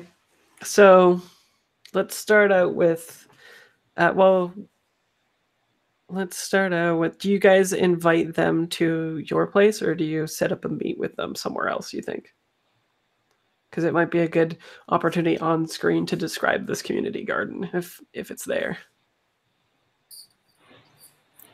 I like that. yeah We're giving them a tour of the garden space. Yeah. Well, let's do the the the um painting the scene then. let's let's gauntlet it up in the in the blades.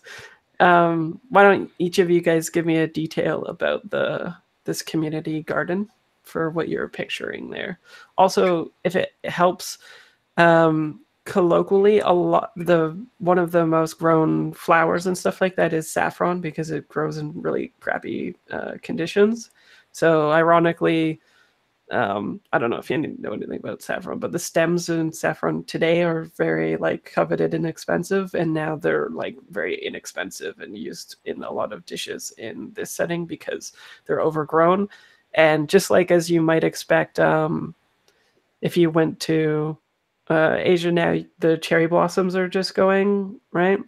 Instead, here, especially with the Croci stigma, in the massive towers of the white sector um, further down, they grow a lot of saffron, and they've kind of gene hacked it to make it look even more blue. Right now, it's kind of like bluish white uh, petals, but they've made it kind of like really deep blue. So you can imagine that blue petals are continually falling no matter what um, season it is because they've been hacked to grow year round. Um, and it's sort of like a status symbol. Um, so you can kind of see that uh, the more deeper the um, saffron leaves are, the better the hack. And generally, you'll see them floating off of one particular uh, building slash tower owned by the super rich or whatever, right? So it's sort of they employ the Croci stigma to get the best uh, blue deep flowers uh, to compete with their neighbors. Um, so yeah, if it helps. But uh, yeah, why don't you go around? Tell me like we'll have a tracking shot of the camera coming into the garden and tell me what you see. We'll go in order of the hangouts. So, Darren, do you want to start? I would be honored to. Um, I um, I imagine the garden. I'm thinking like a rural, like a city community garden space. Like maybe in like the front area, then there's the buildings that surround it, all around it. So maybe walking through the garden, there's like it's a bunch of like trellises and it's a lot of like very um, um like hardy crops that like can can be used a lot of things so there's a lot of beans um um i I can't think of any other crops. Probably like potatoes, a melon or something. I think maybe, well, yeah, yeah. I think that's my detail. So it's a lot of like good like farming crops, and there's probably like people dotted throughout who are working on the garden. Cool. And what do we see from? I'm gonna start using people's um, character names to start getting into that. What about the Steve? Well, I definitely think in center of it we have like this pavilion. Um, it's slightly elevated with um, where you can actually sit down, uh, have like cushioned benches uh, around it, and but instead of it being like traditional, like, like we know these pavilions always are like sheer white. Instead of that, it's a um, a lighter shade of orange to be like the complementary color to the uh, always present blue um, uh, blossoms that are um, surrounding it, right? And yeah, and this like this might also be the one where we like after the tour might sit down to talk business. Cool. And what about Yeji? Was it or Yeji? Oh, you're muted. What the digital button or the physical button? One press. Uh, what, what was it again? Yeji. Yeji. Yeji. Yeah. Um, yeah, I think that there are some uh, maybe kind of like off in the corners. There's there's these trellises um, where um, there's been attempts to maybe grow some bigger, thicker plants. Um, maybe that they don't look like they are like producing all of that much like harvest out of them, but they are certainly like producing like these sort of like private areas um, where maybe shady conversations can happen in the shade.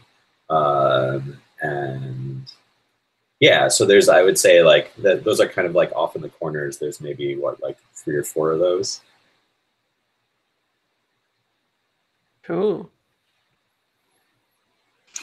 Yeah, so I think the the other thing is um towards like where all the entrances are. Um, I think there's probably only like a couple of entrances and exits out of the community gardens, but since it is a community, there's probably some on like all different sides.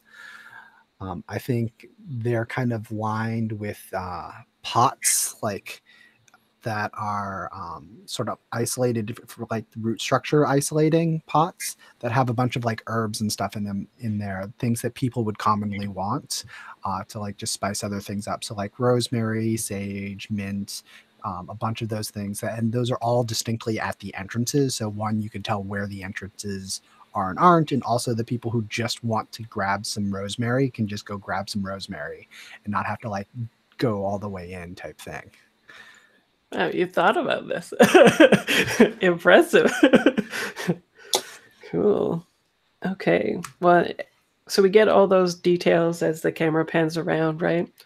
And we start following along uh, behind a like a shape of a person. It looks at, at first it just looks like a mass of people like undulating and moving through the city streets.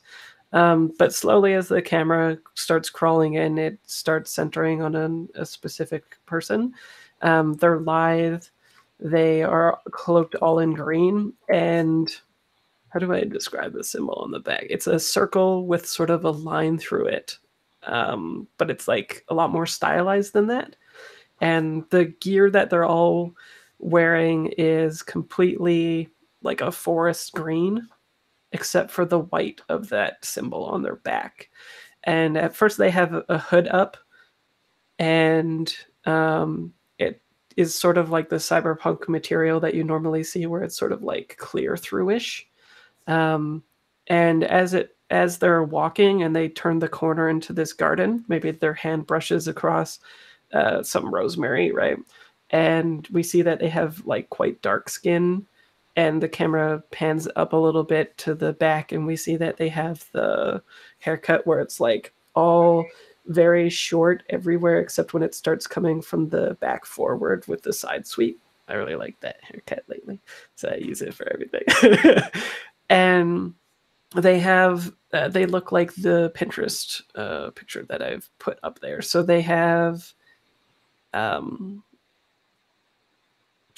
how I don't know how you would describe it, but those like huge hoop earrings and dark skin. They've got like the bar in their nose, uh, sharp features, and um, they've got like two dots uh, in the middle of their forehead.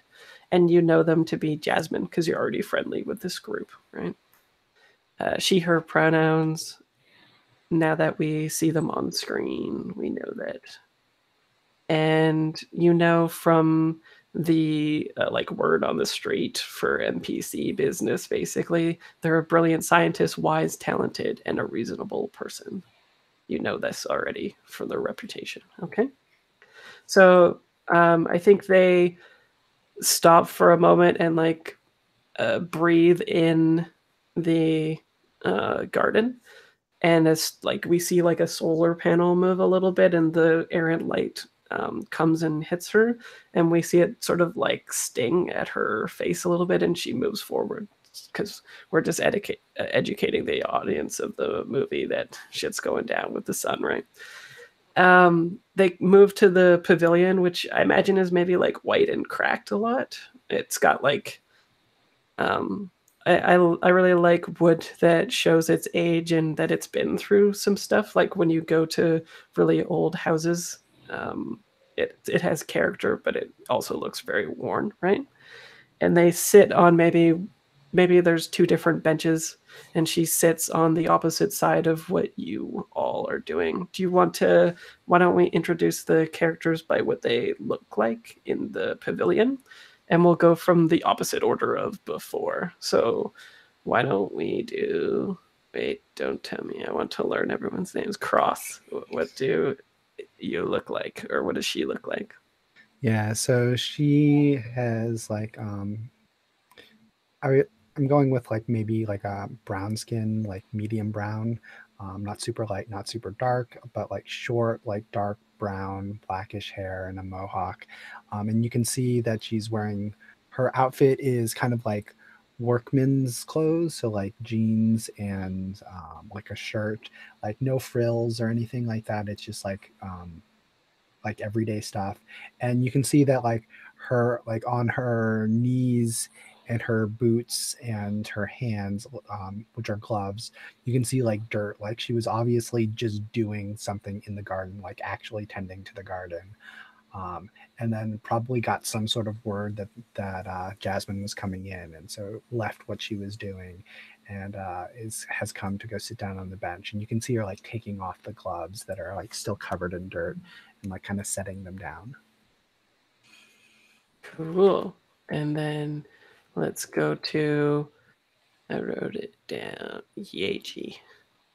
Um, so I think, uh, in contrast to Cross, um, there's not any dirt or anything on uh, Yeji's clothes. It looks like she she's maybe, or I am, uh, uh, sort of making it look like I'm doing things. Um, so kind of like picking through plants, but it's obvious that like I don't have a lot of like, yeah, uh, finesse with uh, with horticulture, uh, and uh, I uh, I see, yeah, I see Jasmin coming in, and that is uh, a perfect ex- excuse to stop pretending that I that I care about gardening, um, and so I kind of head over that way.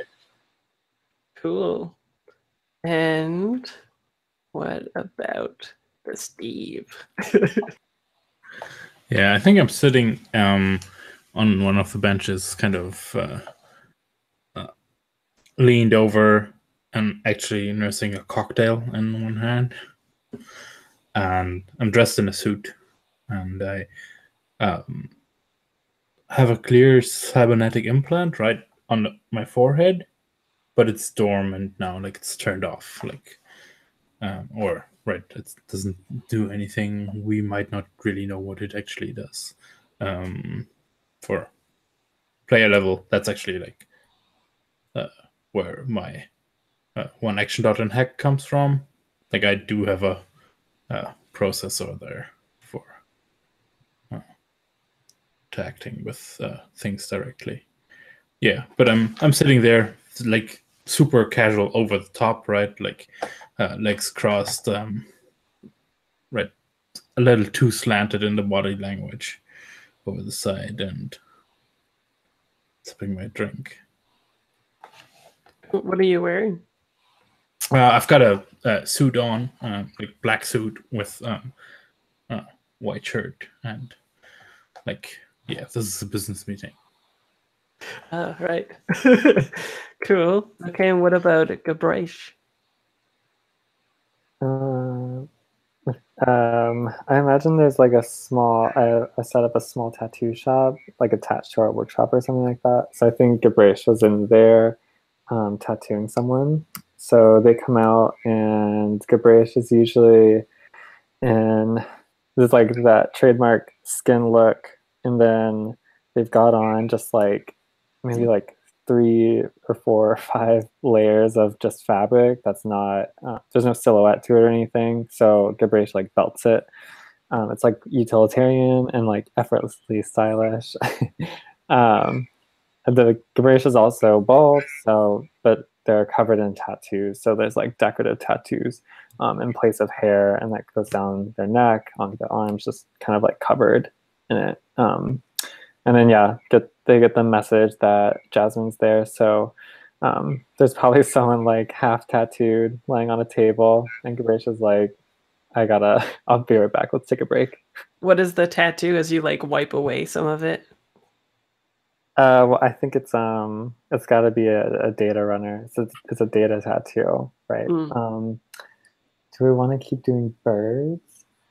Whatever I, you like. Yeah, I I like birds. I think they're getting a crane. It's like a crane. Yeah. cool. I like that. Cool. And then so you you all congregate by the pavilion. Um, I kind of like that for some reason there's like the sound of water in the garden, but because it's like a scarcity, there isn't actually like water to be seen, right? So just to give like a sort of calming presence and I think Jasmin looks really like amenable right? And yeah, just remember wise, talented, reasonable when you're dealing with them. But so, do you imagine that you've sent for the meeting uh, in order to like? Do you think that you sent word saying like, we want to um, like get in your favor, or by way of the fiction, this is just something happening that will do that already for the faction? What's more interesting to you?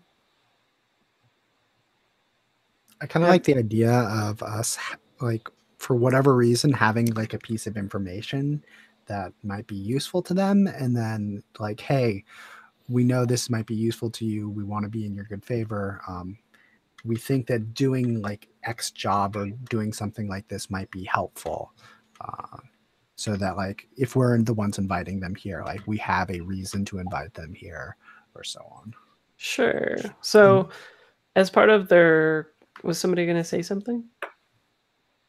Oh, okay. I thought I just talked over somebody. Cool. Okay. Um, as part of the faction clock, I definitely know what they're after. So let's see. Yeah. So I think what the information that you got was that um, you have a location of somebody that they were looking for named Merrick, and they were they're somebody who is still under Nourish's employment, somebody that like didn't get out with them, and they've been unable to locate until now. And so do you do you tell her that you know the location and all that kind of stuff? So let's say that happens in the fiction, right? And she sort of like stiffens at the name, um, not trying to like betray that this is something that she really wants, but you can tell as you know, as subtle as she is, it, she still like betrays it eno- enough that you know that this is information that she wants. And she says, um, "If you truly want to help us, we are we are being watched always. We know this. The only time we are safe is when we are in the masses of the Green Mile. But if you truly want to be friends, and she like lets out like a subtle little smile, right? Um, she I would like for you to disappear, Merrick, and bring him to us. You don't have eyes on you, but we do. This this will gain you the favor that you're looking for.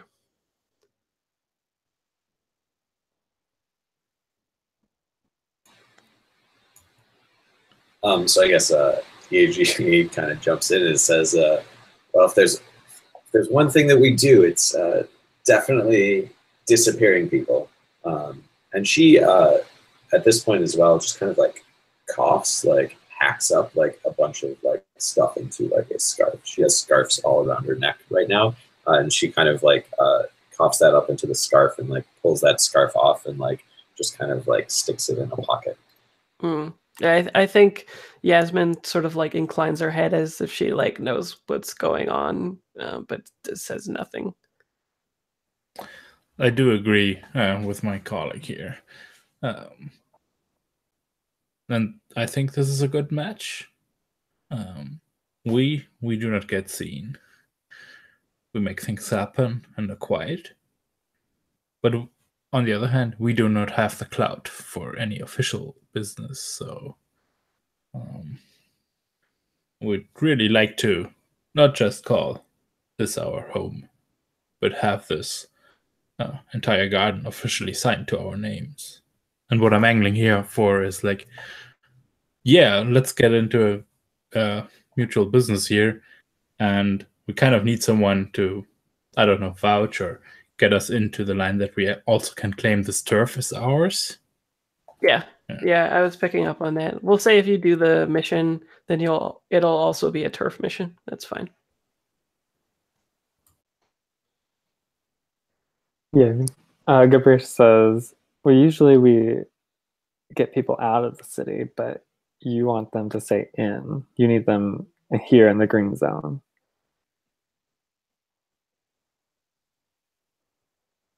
Yes.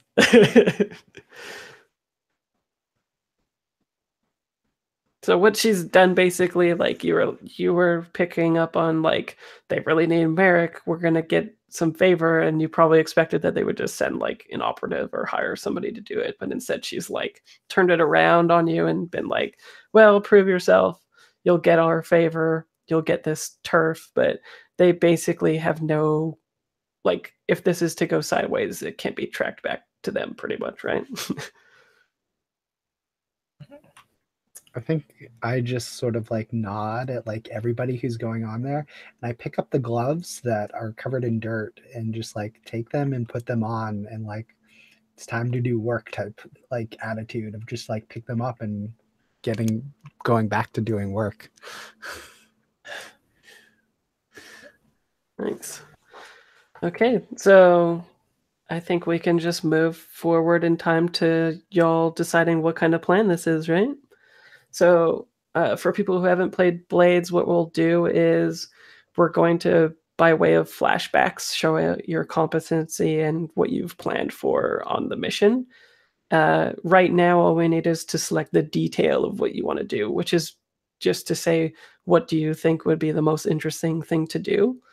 Um, so generally what you'll do is you'll select a type of plan, which you can find at the bottom of your um, character sheet. There's teamwork and then planning and load.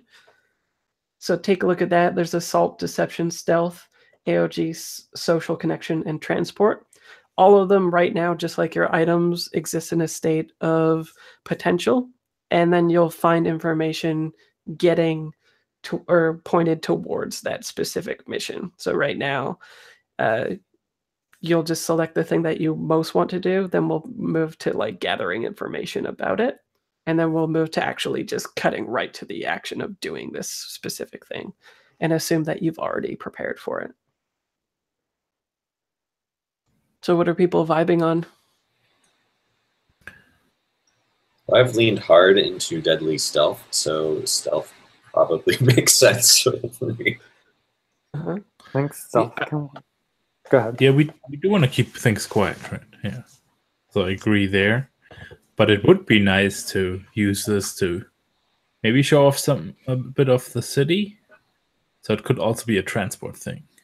Mm. Right. Maybe like picking them up and kidnapping isn't the big deal about the score, but actually then uh, moving them.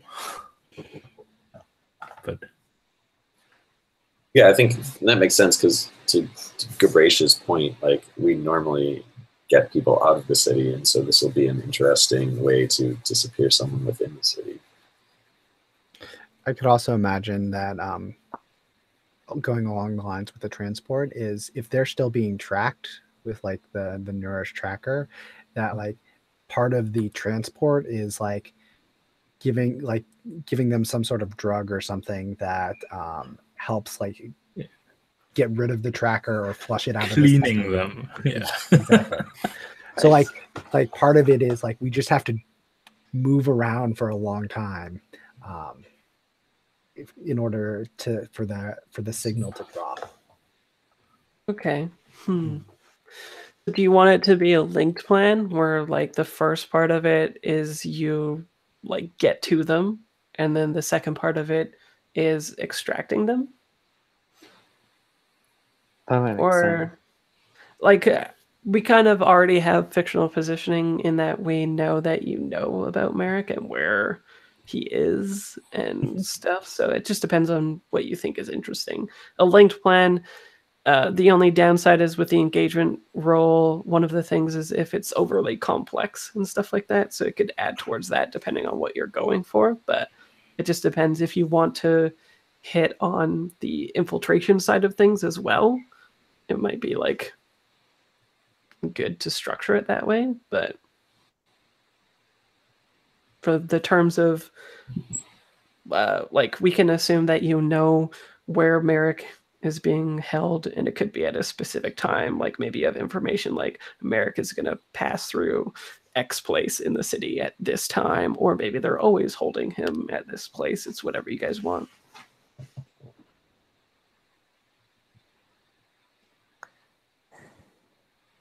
Maybe we could just do an um, Well, I guess it would still be a link plan. I was thinking like there's some a small step we could do to prep for the mission, but I guess Yeah, that well- still Yeah, uh, yeah, exactly. Right. The um, I think what what often gets mistaken is uh, it's the we're characterizing the engagement roll, not what happens after that. Yes. So maybe this is more like, well, we get to him in a stealthy manner. Once we're there, then we have to do the transport stuff uh, on camera. sure. Both can be true, and this could just be a stealth uh, engagement roll, and then we need to move him, Mm-hmm. right? that makes sense. I'm good with that. Cool. Mhm. So, uh, is it stealth or deception? I think stealth. Yeah. Just I don't getting think we're them? trying to. Yeah, I don't think it's necessarily trying to trick them into something else has happened. Yeah. I think it's it's, It's just grab the- 'em. before they notice or when they notice whatever he's gone Yeah. doesn't matter exactly. cool okay so entry method let's gather information about that So I kind of want to like, since we know roughly the location is like, I definitely want to be like going around scouting, and then with like, like my cybernetic eye, like recording video of the place, um, to trying to like look around. Basically, I'm looking for like what's what they might be weak in, like if there's places where there's cameras that are looking at things, but where are the blind spots, that type of stuff. Okay and is anyone helping on this Um, I think I can yeah because I could probably do some like remote stuff. Um, with my hacking. yeah are you gonna well yeah normally hacking would be a little bit risky depending on how you do it but if you're there plugging into the building or something and then like trying to do stuff i think that is a cool visual Hmm. Yeah. Yeah, I imagine just some sort of like remote, um, like helping watch out oh while while um, Cross goes around and does their their business. Okay, I like that. Okay, so let's see, what will be? So this is going to be a fortune roll. Yes. No? to gather information. Yeah. It's it is an action that you're doing, but it's essentially a fortune roll. Yeah. So I mean, I I I pretty much picture this as survey uh, of what it is, um, but I'll. I've only got one in survey myself, but if I'm being helped out, it bumps it up to two. Okay, cool. Cool. And here we go. Notes. No, I'm just gonna leave that blank. A five, cool. So you get almost complete information essentially. So um, I want to cross the streams a little bit. Let's say that you need to extract it from the blue oolong. I like that. um, they're being held at. Let's see. Do you have any? Did you do you have a pre uh, conceived notion about how you got the information from Merrick? About Merrick? Uh, who did we piss off again? We pissed off the data. um, The yeah, you pick you pissed off uh coil, I believe, right? coil. I, I totally think this part of the reason that that's how we got the information. That's part of why they're they're mad at us. Is we got like it was something that we did that we got some messenger or extract that they were supposed to like pass to one person or do something like that. But we got it and we're like, oh, this is actually useful to us, and we're just going to keep this. Oh, nice. So you you were like gonna do a mission where you pass the information to somebody else, but you looked first. You're Mhm. like bad post office people. yep. Like held the letter up to the to the sun, and you're like, oh, Merrick, that's a good word. yeah. nice cool i like that so um yeah let's say that you got intel that was leaked from information where they were saying that like an auditor came across whatever uh, bits of data saying that like merrick's nanites flashed for just a second at the blue oolong before they disappeared. And i'll uh, I think I have a picture of it. Basically, the blue oolong, uh, when I picture it, is it's as if you went into like David's tea. So on the right side, there's all these like options of different teas and canisters, so you can smell them and look at them and like buy them and stuff.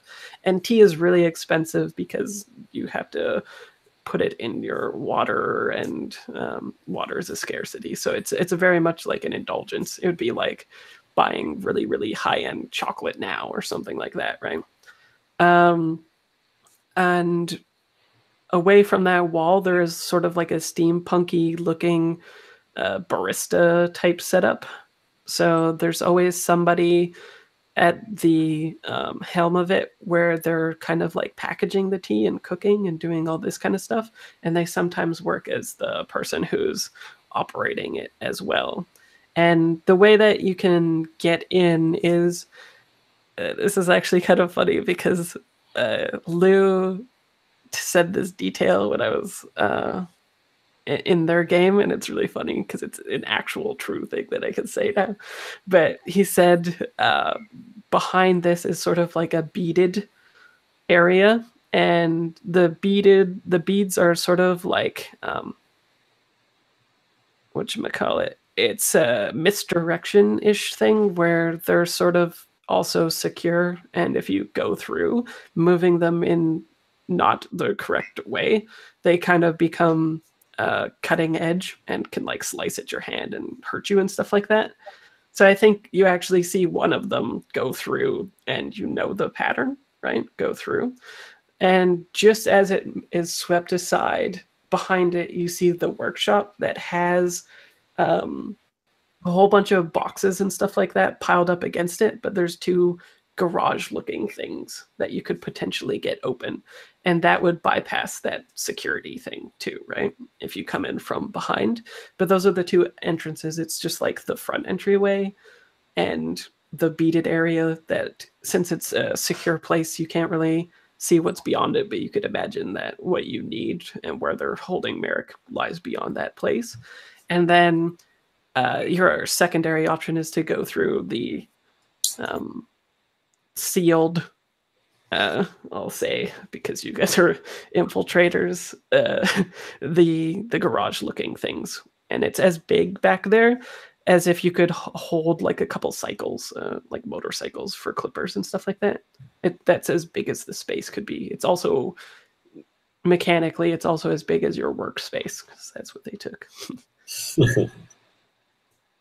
and yeah so do you see that what what kind of fiction do we see when you guys are like that's what you learn but what do we see in fiction for how you get this knowledge are you posing as customers or like what do you yeah I, I, think it's totally posing as a customer. I think part of it uh, around is like just doing an outside perimeter of the building. So like maybe the person inside uh, doesn't necessarily notice but sees uh, but like we see cross like circle the whole building like videotaping things and then walking inside to like uh, pose as a customer um, and just like looking and smelling teas and doing all of that type of stuff to to pose as a customer um, and just like watching keeping an eye out for as somebody goes into the back to go uh, through the be- beaded curtains. And it's all on film now or all on data. It's all captured. Right. Yeah. And what about Gabrish? what are you doing in the fiction? What do we see? Yeah i think um let's see if I have to hook up something. I think maybe Gabrish is um Gabrish is like at the corner, just outside of it, um, with like I just don't, I don't have a handle on technology here. Can she have a laptop sort of thing, like a tablet? Is this totally? Yeah. Okay. Okay. Totally. Yeah, I think Gabrish is probably just like um I think she's just plugged in with like a tablet and maybe like the the danger for Gabrish maybe is that like that looks very surreptitious to just plug into a building, but like probably it connects into like a camera feed or something inside the blue oolong, so I can kind of just watch. I have like eyes outside of my own, and then I can see what's going on with Cross inside also. Mm. Cool. Yeah, I like that. Across the way too, you see Uh, I'll do another crossing the streams detail, which is uh, across the way you see a place that sells synthetic honey, and it's got like a, a street sign that has like a beehive with like a mechanical bee that's going around it in like different patterns and stuff like that. Um, and you're still in the roots. It's still kind of like a shady area, so I kind of even like in the fiction, maybe you like plug in to the laptop and you're doing all this stuff. And that's when Cross comes out with like a cup of tea and puts it there. So it looks like you're just like working or something, right? And then we can cut to uh, what you guys are doing on the job, even if you want. Yeah, did people want to do other things? Well, so here's the question: Does this uh, does it make sense for either this recording or the hacking or some combination is kind of uh, transmitted live in some way back to the gardens. Uh, well, what like, were is you that going possible? So, kind of what I was imagining is that uh, Yeji is. We don't want to have Yeji there if she's going to be sort of point on actually infiltrating it, but she is perhaps um, watching and making sure that, like, okay, like I completely understand the way that these things path together so that I will be able to like sneak in and perhaps um, if there's some type of audio connection saying like, hey, like check this for me. Um, like I didn't get a good look at that. Can you go back in and like um, try and get me a little bit better angle on that? And I kind of imagine her uh, in in sort of the visual is sort of like standing in the middle of the garden doing almost kind of like Tai Chi exercises kind of thing, like just sort of like she's sort of like physically like miming her way through um, the different things and trying to understand like how she will need to navigate that. But that could certainly be sort of like later, or if it if we do think it makes sense to have a live feed, I think that would be nice. Yeah, it's fine. It's just there's no internet, so you can still do local area network connection Okay. stuff. So that's totally fine. You just can't like you don't have access to essentially what is now proprietary information. That's all. Got. This could Cool. just be the intercut of um, we see this, and what you're actually engaging is with is the uh, video data that was brought back, Yeah, that and this is this is the this is the yeah the montage of us um, uh, doing the planning where we don't actually communicate what's the actual plan. It just looks like we're planning. Yeah, exactly. yeah. Especially because Cross has the eye that can record and download the info and stuff too, anyway. So, totally. Okay, so we are doing stealth, trespass unseen, point of infiltration. We know it. And what, what way are you guys choosing, by the way? Through the beaded area or to try to get in through the back entry? I'll leave that to our stealth professional. yeah. I kind just want to go straight in through the beads. just to be meta about doing the uh, engagement roll, I'll give you the questions. So that way, because this is basically the force score that we see on film. So I want it to be like cool and illustrative of your team and stuff like that. So you can plan for this and essentially game this heist. But going forward, I won't let you. know. um, so you get a die for being particularly bold or daring, right? And minus a die if it's complex or contingent on many factors. Uh, if you expose a vulnerability of the target or hit them where they're weakest, you take plus 1d. If the target is strongest against this pros, then you take minus 1d.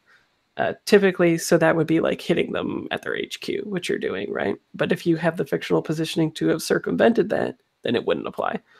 Um, can any of your friends or contacts help you on the affirmation? If so, plus 1d. If enemies or rivals are interfering, minus 1d. And other elements like tier come into effect and they're tier one, you're tier zero. So um, it I not like normally I could minus a D, but I won't because I want this to be really cool. so when you're planning, just think of that, right? Um, Yeji would definitely like to take on the challenge of these beads, but maybe as a getaway, we work these garage door things, the garage area. Um, it might not make a lot of sense to try and get back through the beads, especially with uh, whoever we with with Merrick. Um, what do you guys think? Yeah, I think that makes sense. And I think if there's like doors or whatever, um, I think that Gabriel should be working on that, basically like setting up the getaway, right? Yep. Okay. So you're initially so yeah, uh, well for the what we'll do is if your entry is through the front this time, when you're exiting, it'll be a flashback to you dealing with the back doors or whatever, right?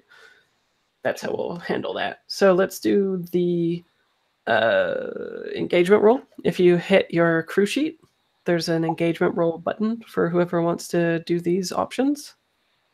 And we'll just go through it just like I said. So is the operation particularly bold or daring? I think so. You're hitting them where they live, right? it's pretty pretty hardcore. Um, contingent on many factors, it seems like we know the entry point, we know how to get in. So no. Hold on. Who's actually doing the roll? Yeah, exactly. Yeah, who's who is doing it? Yeah. is I anybody in the can crew if you like. So it's Go for it. okay. So I've got got the thing open. So we get one die uh, out of sheer we're competent or something. Sheer luck, yeah. And Yeah. then bold and daring too. Uh, plans detail expose a vulnerability. It seems like you know how to get in, right? So 3D. Uh, are they Yeah. strongest against this approach? Uh, I wouldn't say necessarily. So they've set up some beads that are kind of neat, but otherwise not really, right? Uh, any friends and contacts help you? Does anyone have any people they think would be good? I was probably gonna call in some if I was doing a flashback to get us out. So I, I but I don't. That's. I don't know Well, this is just like you can presuppose that you've contacted this person to help you if you want. If you have a contact that makes sense for this. I- I've got a contact that might help, but it's um, an enemy contact, so I'm not sure if that's a good Uh, thing no. to, to bring in. No, that would be something that I would bring in to scare you. Is it- so nobody has friends, or that helps you with this. I mean, No. okay. Not to get it. Um, other elements to consider? No, I don't think so. So we'll do three. Three. Okay. Bam, crit. Whoa. So a crit, you guys are jackasses, but well, it'll it'll work very well for uh, us showing the competency of you, right? So a, a six starts you out at a control position. A crit starts you navigating through the first obstacle already. so that's pretty good, and then you being in a co- control position after. So whatever. All right. So So The I think kind of the plan is um, that if, if I understood correctly, or if I'm imagining this correctly, is that uh, uh, Yeji, right? Is that correct? Is um, going to be actually the person moving in. Um, I'm not sure if Cross will be accompanying her. Yeah, and maybe um, it's um, and the Steve at the back opening the getaway, and we're having a vehicle there. I think that's. Does that sound cool? We still have like obstacles to overcome, right? We need to open the back uh, door, and you need to get the guy, and but we're in a good position to handle this. Yeah, does that sound good?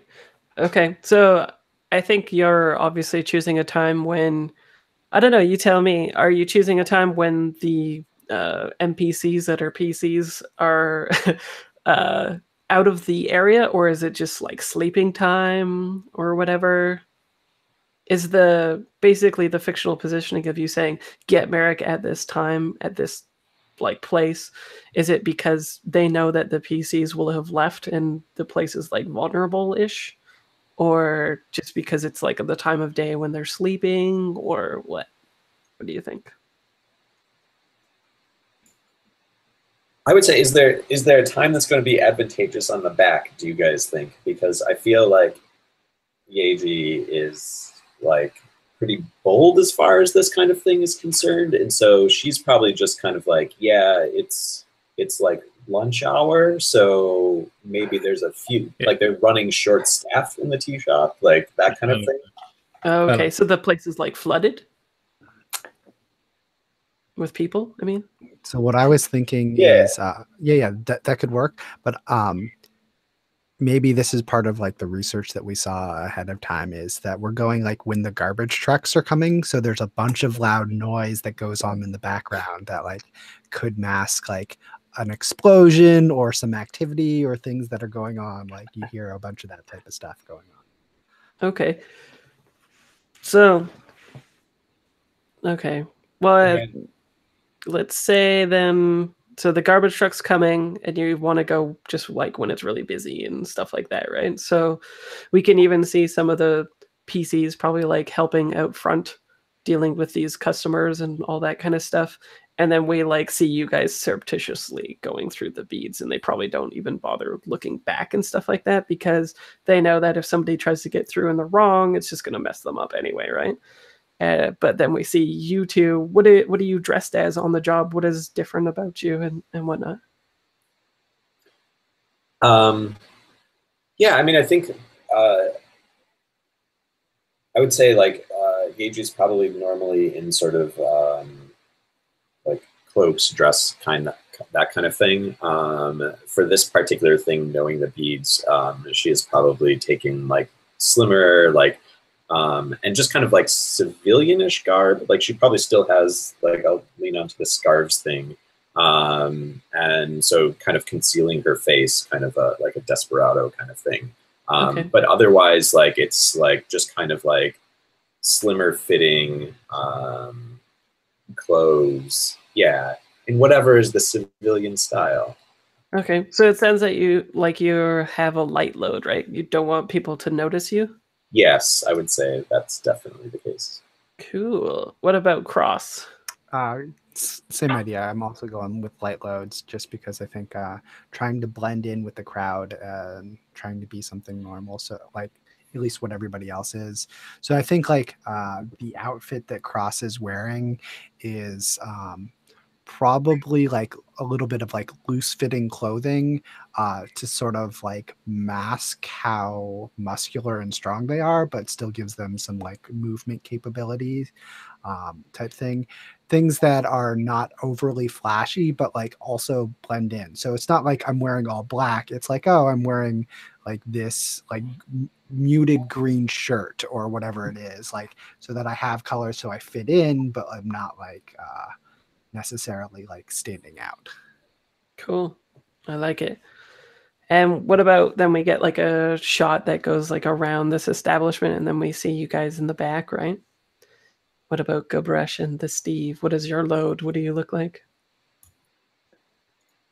Um, I like this idea with the the garbage trucks. I think that um, Gabrish, I'm doing a normal load because I think Gabrish um, has like a garbage man's outfit on. So I imagine that as like a pretty bulky jumpsuit that has like room for like some crap. And yes, I think that I think either um, I imagine I'm either driving a garbage truck or I'm going to call someone in to drive it. um, but yeah, so it's like maybe um, you know that like dingy gray. There's a belt.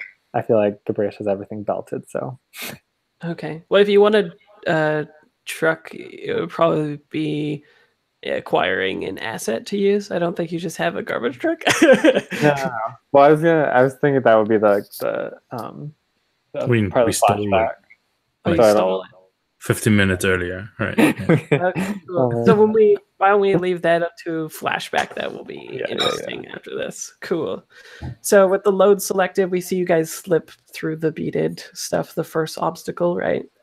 And as you get through, towards you is the workshop, and to your right is like at first it looks like nothing. It sort of looks like um a nook where there is the stairs coming down and then behind it there's like nothing but as you look further you see there's like a little um there's markings on the ground as if it's been slid. So you can tell that it's like kind of a trapdoor looking thing.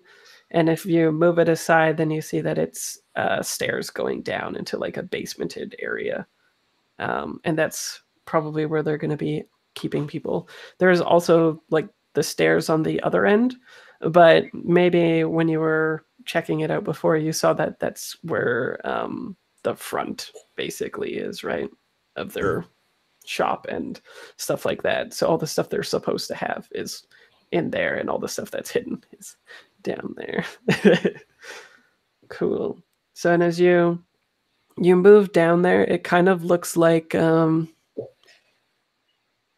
what would it it it not like a cave, but all those things of like insurgent videos in like Afghanistan and stuff when they're below the house where it's very narrow passages and like just those swinging dangling uh, light bulbs and stuff like that they're down there.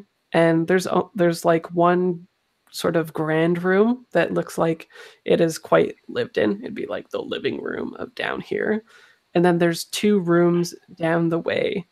And just as you're about to move forward I think one of you sees that there is like, uh, I think actually the, I think it'll be Cross that catches it. It looks like it has the same um, replicant eye thing up in the top right corner, like a camera ish. And you recognize it because that's what your eye looks like, right?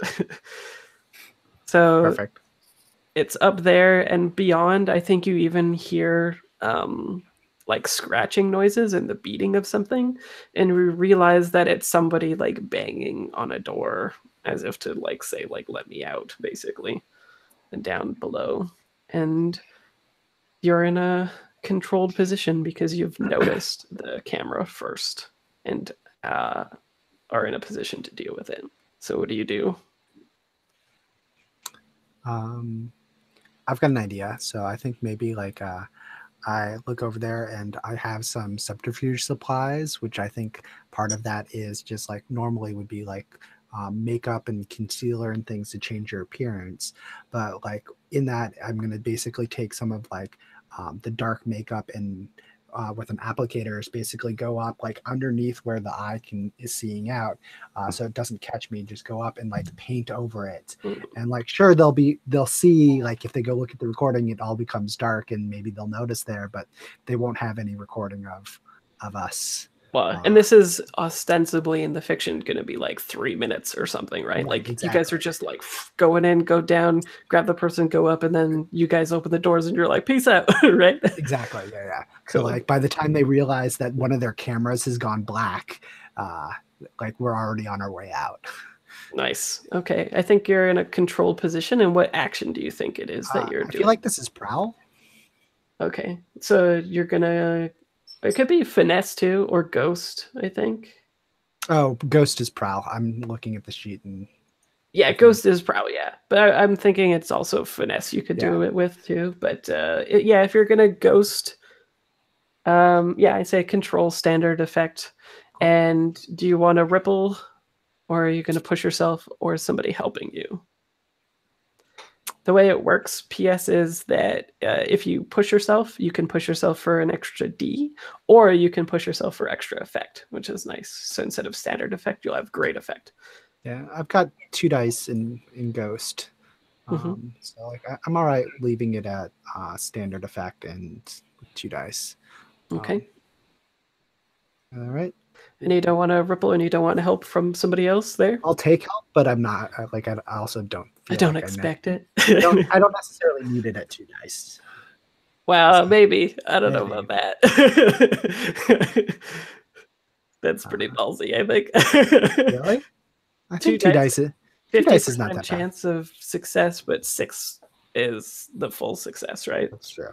So you're searching for sixes mainly. And plus we ha- we haven't really seen uh Yaeji do much in the fiction yet, so it'd be nice mm-hmm. to see them help maybe or something. I'm just not sure how I am going to help this particular action. well, in the fiction, it could be even like, um, I don't know, maybe you're. Maybe you're looking through the beads to make sure nobody's looking when they're doing uh, it. Oh, something along those lines, like yeah, a lookout kind of thing. Um,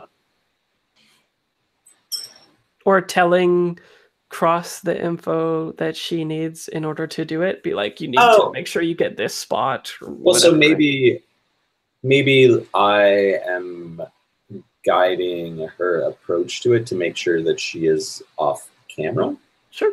Does that make good sense? enough for me. like yeah. kind of like keeping it. Maybe the camera's rotating or something like that, and I'm kind of like um, somehow just Solid in them. Yeah, like how like yeah for sure. there now like that kind. That So, probably yeah. Three Cool. dice. I'll take Roll my it. bonus die. Ha! See, told you. That's fair, Okay. I guess. yeah. so, okay, let's see. I think, yeah, the obvious thing I think is that since these guys are ostensibly PCs or whatever, right? That there is like an additional camera on the opposite side that you missed that they've Um, placed in order to um, catch people going for the obvious camera, right? Perfect.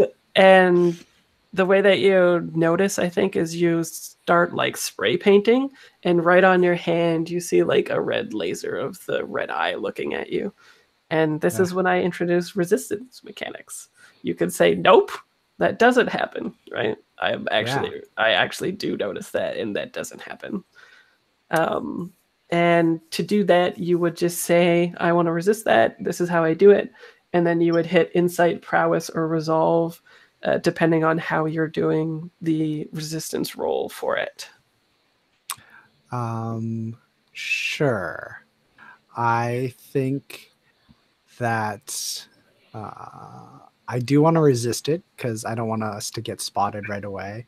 Um, but like, I think how it is is just basically, um, I assume something's going to be like that. So like, I have like hook like put up over a hood or anything that like it removes any identifying like features. Um, so like even as like i go up to the camera to like blot it out there's nothing that they can really identify from me. And so like it's just the blotting out one one thing and then like backing up without like any identifying features to where that camera can't see and then blotting that one out as well Okay, so that sounds like insight to me, Yeah, probably. like too Cool. So just hit the insight button and it will Yeah. let you do the resistance roll for you. cool So, oh, that's pretty good. You only take one. one stress to do that. Cool. And- stress. So then let's say that you you get to the door that's being pounded on. You see Merrick. They are um, similarly dark skin and they have modified eyes so that they're sort of like yellow. Um, I'll show you the picture later, but they are incredibly attractive. And a, from like a PC that I played, uh, I'm playing in the other Blades game. I chose them and I was like, Jesus, I am like the most attractive like male I've ever seen in my life. But anyway, so you get them and we can we get you to the point where you're going up the stairs again and that's when we cut to the back right with you guys trying to get the stuff open yeah so what do we see back there you guys are trying to like how are you trying to get these doors open Uh, I think um, I think we're we're like actually taking um, garbage bags, kind of like out of the truck and um, uh, looking side to side, and then um, hunkering down behind the garbage bags or something like that. And I think I'd be like, um, uh, "All right, Gabriel, can you set me up, making sure this doesn't cause an alarm? Then I can open the door." Uh, that's the way to game it. Can you set me up? I like that. Cool. I would I would be happy to take a stress to assist you. oh no. I think he's angling for a setup action. Oh yeah, yeah, Yeah. okay. yeah Yeah, so- Because I'm, think- I'm thinking here right there, tier one, we're tier zero, so you need to overcome or like the tier difference, and setup um, gives us a better position. yes. And my idea in fiction is like, well, they probably have some kind of alarm if you just open this by like not the usual method. Uh, but maybe you can hack that, and I can then just do the mechanical bit of opening up the doors. for sure sounds So, good yeah. Gabriel's how do like you- what I was gonna say they take out the tablet, and I think um, if there's like an outlet or a plug or something in the back, um, they're just gonna like do some matrix business and whatever that looks like. So, wait, so what action do you think that is? Is that hack? Yeah, I think it's got to be hack, right? Cool. And so there there is a tier difference. So right now it's going to be you're in a controlled position, but you'll have limited effect, and you can push yourself to get standard effect if you want. Yeah. Um, do you have a devil's bargain? Sure. Um, when they review the footage, they'll notice that there is two garbage trucks that come today. The one that you're in, and the one that later comes, the real one. I'm sure that's fine. Darren's the worst. It's just like everything I come up with, Darren's just like, yes. Sweet. I will. Okay. So you're gonna push yourself for or the ripple is the thing that you are using to get the standard effect then instead of pushing yourself. And uh, are you getting help? Mhm. Maybe you're Um, just covering them, right? So Yeah, because if this is a setup that they are doing for me, uh, Oh, yeah, it might be weird to feel fair yeah, that's Yeah. like yeah, that's fair. Okay. So you've got mm-hmm. standard effect for free. Well, kind of. Free right now. Yeah. So roll that up. Roll your hack.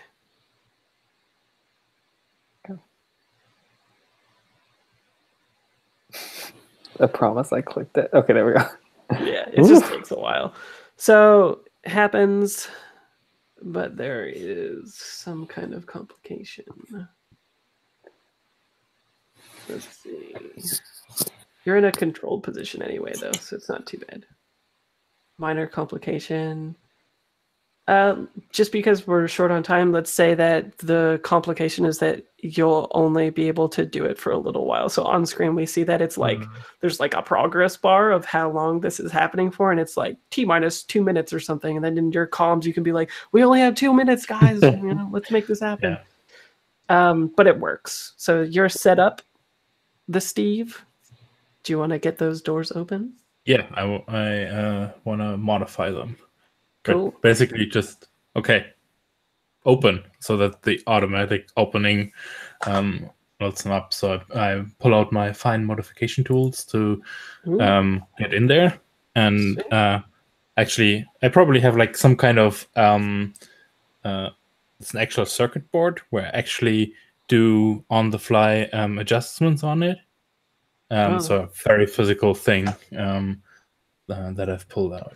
So is it like uh is it like you actually open up the circuitry for what the door is doing and you take out the circuit board and put in a new one and then hit like open? Uh, That's kind of cool. yeah, I, yeah, I think uh, uh, that's kind of what it is, right? Uh, Like I open it up and I actually have like these little uh, screwdrivers that I go, and I Right. take this out, take uh, the circuit board out, look at it, and I'm like, uh, okay, and Nice. then um, uh, swap it out. Yeah, I like that. Yeah, that's really cool. Okay, so you and you have fine tools, you said? Cool. Yeah. So I think you're in a controlled position with uh, are you pushing yourself? You, if you push yourself, you could get great effect from it, I think. um, no, I think I'll push myself for an additional die. Okay. Do you want to ripple or do you want to push yourself? Um, I'll push myself for. Okay, sounds good.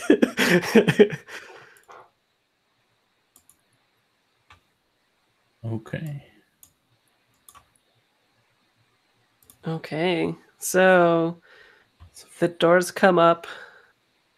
I've only got two minutes. I think it pops up just at the right time, right? Like the, uh, it's just as they're coming up the store, the stairs, and that's when you see like, um, there is like a slight rustle. They've never used these doors before, so they're not greased, and it lets out kind of like a shrieking noise, actually. And uh, we don't, you don't know the name of the person, but there's like a young kid who looks recently like wounded, uh, hit in the shoulder, comes around, and uh, they're like just about to yell unless of course you want to resist consequences. Yeah, I think I do. How do you Um, resist that?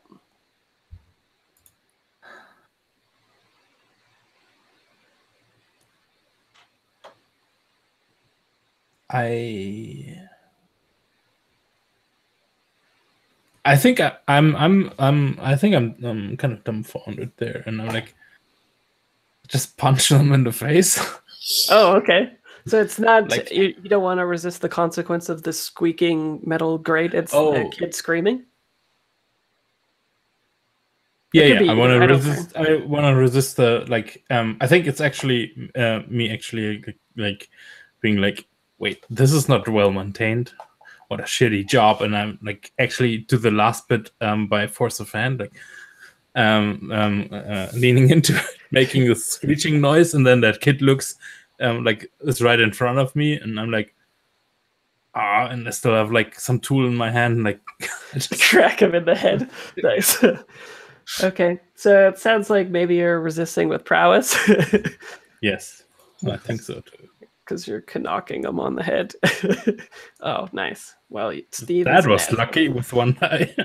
Yeah. So you don't clear a stress, but or no, yeah, I don't critical. incur stress. Yeah, but you don't incur it either, which is nice. So you guys aren't the worst, that's for sure. Um, and then let's abstract it to you guys just getting out, right? Like we see the other two people with uh, the person Merrick come out. You guys get into the uh, garbage truck, I guess. And Could I do it a little bit differently? Sure, totally, whatever you So want. I'm. I think Ye- Yeji is a little bit worried about um, any attention coming in, or even the timing. So I think she's going back out the beats. Um, and and and that way to stop anybody who might be following to know that it was the garbage truck, like all of that kind of thing, as well as just kind of like scope out what the scene is looking like on the on the get out. Uh, yeah, yeah, I like. I kind of even like you spreading some misinformation. Like some thief, some Oh. thief tried to just like some thief just knocked out this guy or whatever, right? To Yes. like, Yeah, yeah, yeah. and, yeah, and- like a group of muggers or something like that. yeah, right? like uh, maybe maybe you throw suspicion on a different gang. Like they're like, oh, who was it? Did you see who they were? yeah, I just kind of blend in with the crowd and um, yeah, Yeah. give some identifying marks of whatever other gang. Um, What what gang was it? Do you think, or like what gang was it that you tell them? Oh, oh. All the power is in my hands. But Yeah. The coil. I hate the coil for some reason. for some reason. okay, so you say it's the the coil, and then Yeah. you like disappear into the into the streets, right? And then behind the the uh, garbage truck leaves. But we we do know that they are gonna follow up with the garbage truck stuff later. Cool. Let's do XP now, and then we'll do uh, rep and heat and all that kind of stuff uh, next session. Does that sound good? Cool. So let's start left to right with Hangouts. Um, Gabresh. What's my XP? Gabresh. Or is it Gabresh or Gabresh? Uh, Gabrash. Brash. Gabresh. Yeah. Cool. Just So look like the most complicated name that I saw, you know. It's fine. I don't mind. I don't mind learning the names. Um, Haunt. Did you address a challenge with deception or influence? I would say yes. Did I? you don't think This- so?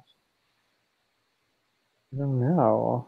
Do um, When you were gathering information, that seems like what you were doing.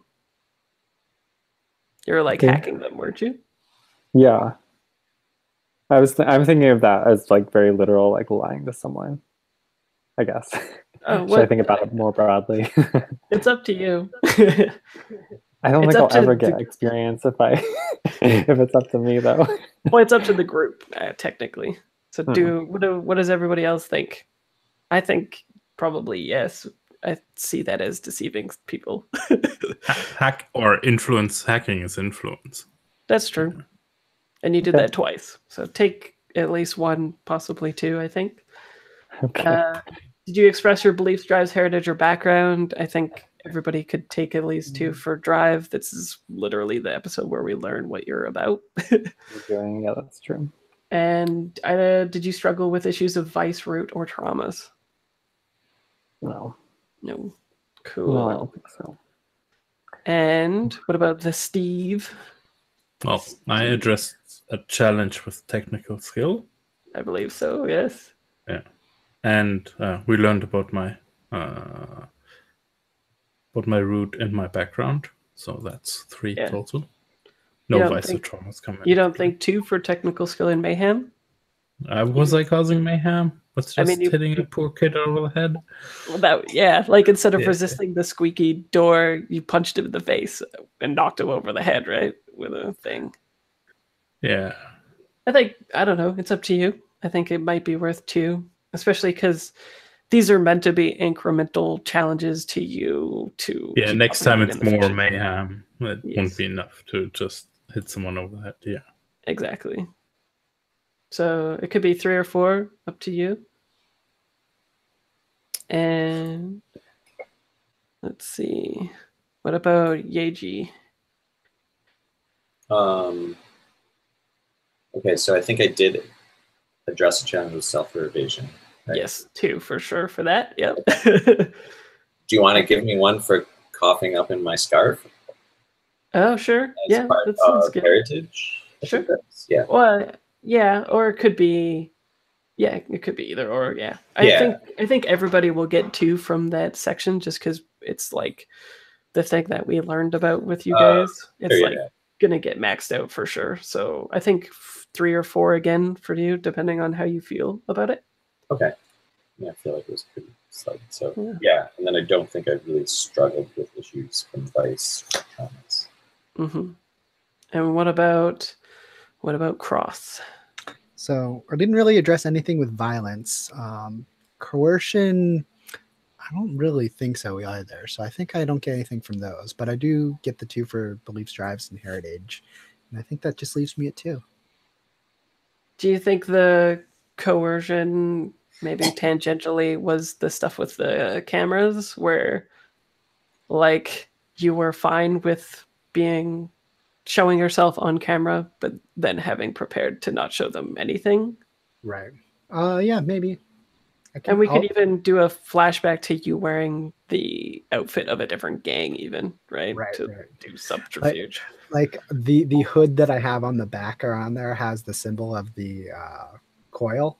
Yeah, of course, you guys are all coil all day. nice. Sweet. Yeah. So take uh take I'll take one. Sure, and then two from that, and then let's do crew cleaners. Do-do-do. Execute a successful accident, disappearance, murder, or ransom. Definitely, you disappeared somebody for two. Uh, contend with challenges above your station. Yes, one tier above you, so one XP. Bolster your crew's reputation for sure. There'll be rep involved later, but you can take two for that. Express goals drives uh, essential nature of the crew. too for that for sure. So two, four, six, seven. You can mark, and when you uh, for the people marking XP on your character sheets, um, I think everybody knows this, but just in case, you can put your XP to whichever place that you would like. So you could put it towards your playbook XP, or your insight XP, your prowess XP, or your resolve XP. And so if you put it towards playbook, then you're working towards getting another special ability. If you put it in insight, prowess, or resolve, you're working for another action rating in that. So once it's filled up, you could put it in any of the skills or the abilities below it, um, any of the traits. And then uh, in the final version of the game too, there'll also be an XP track for uh, increasing your stress, but the character sheets don't reflect that at the moment. And yeah, and I think we can do rep and all that kind of stuff next time. Uh, do people? I'll just I'll stop the recording real quick.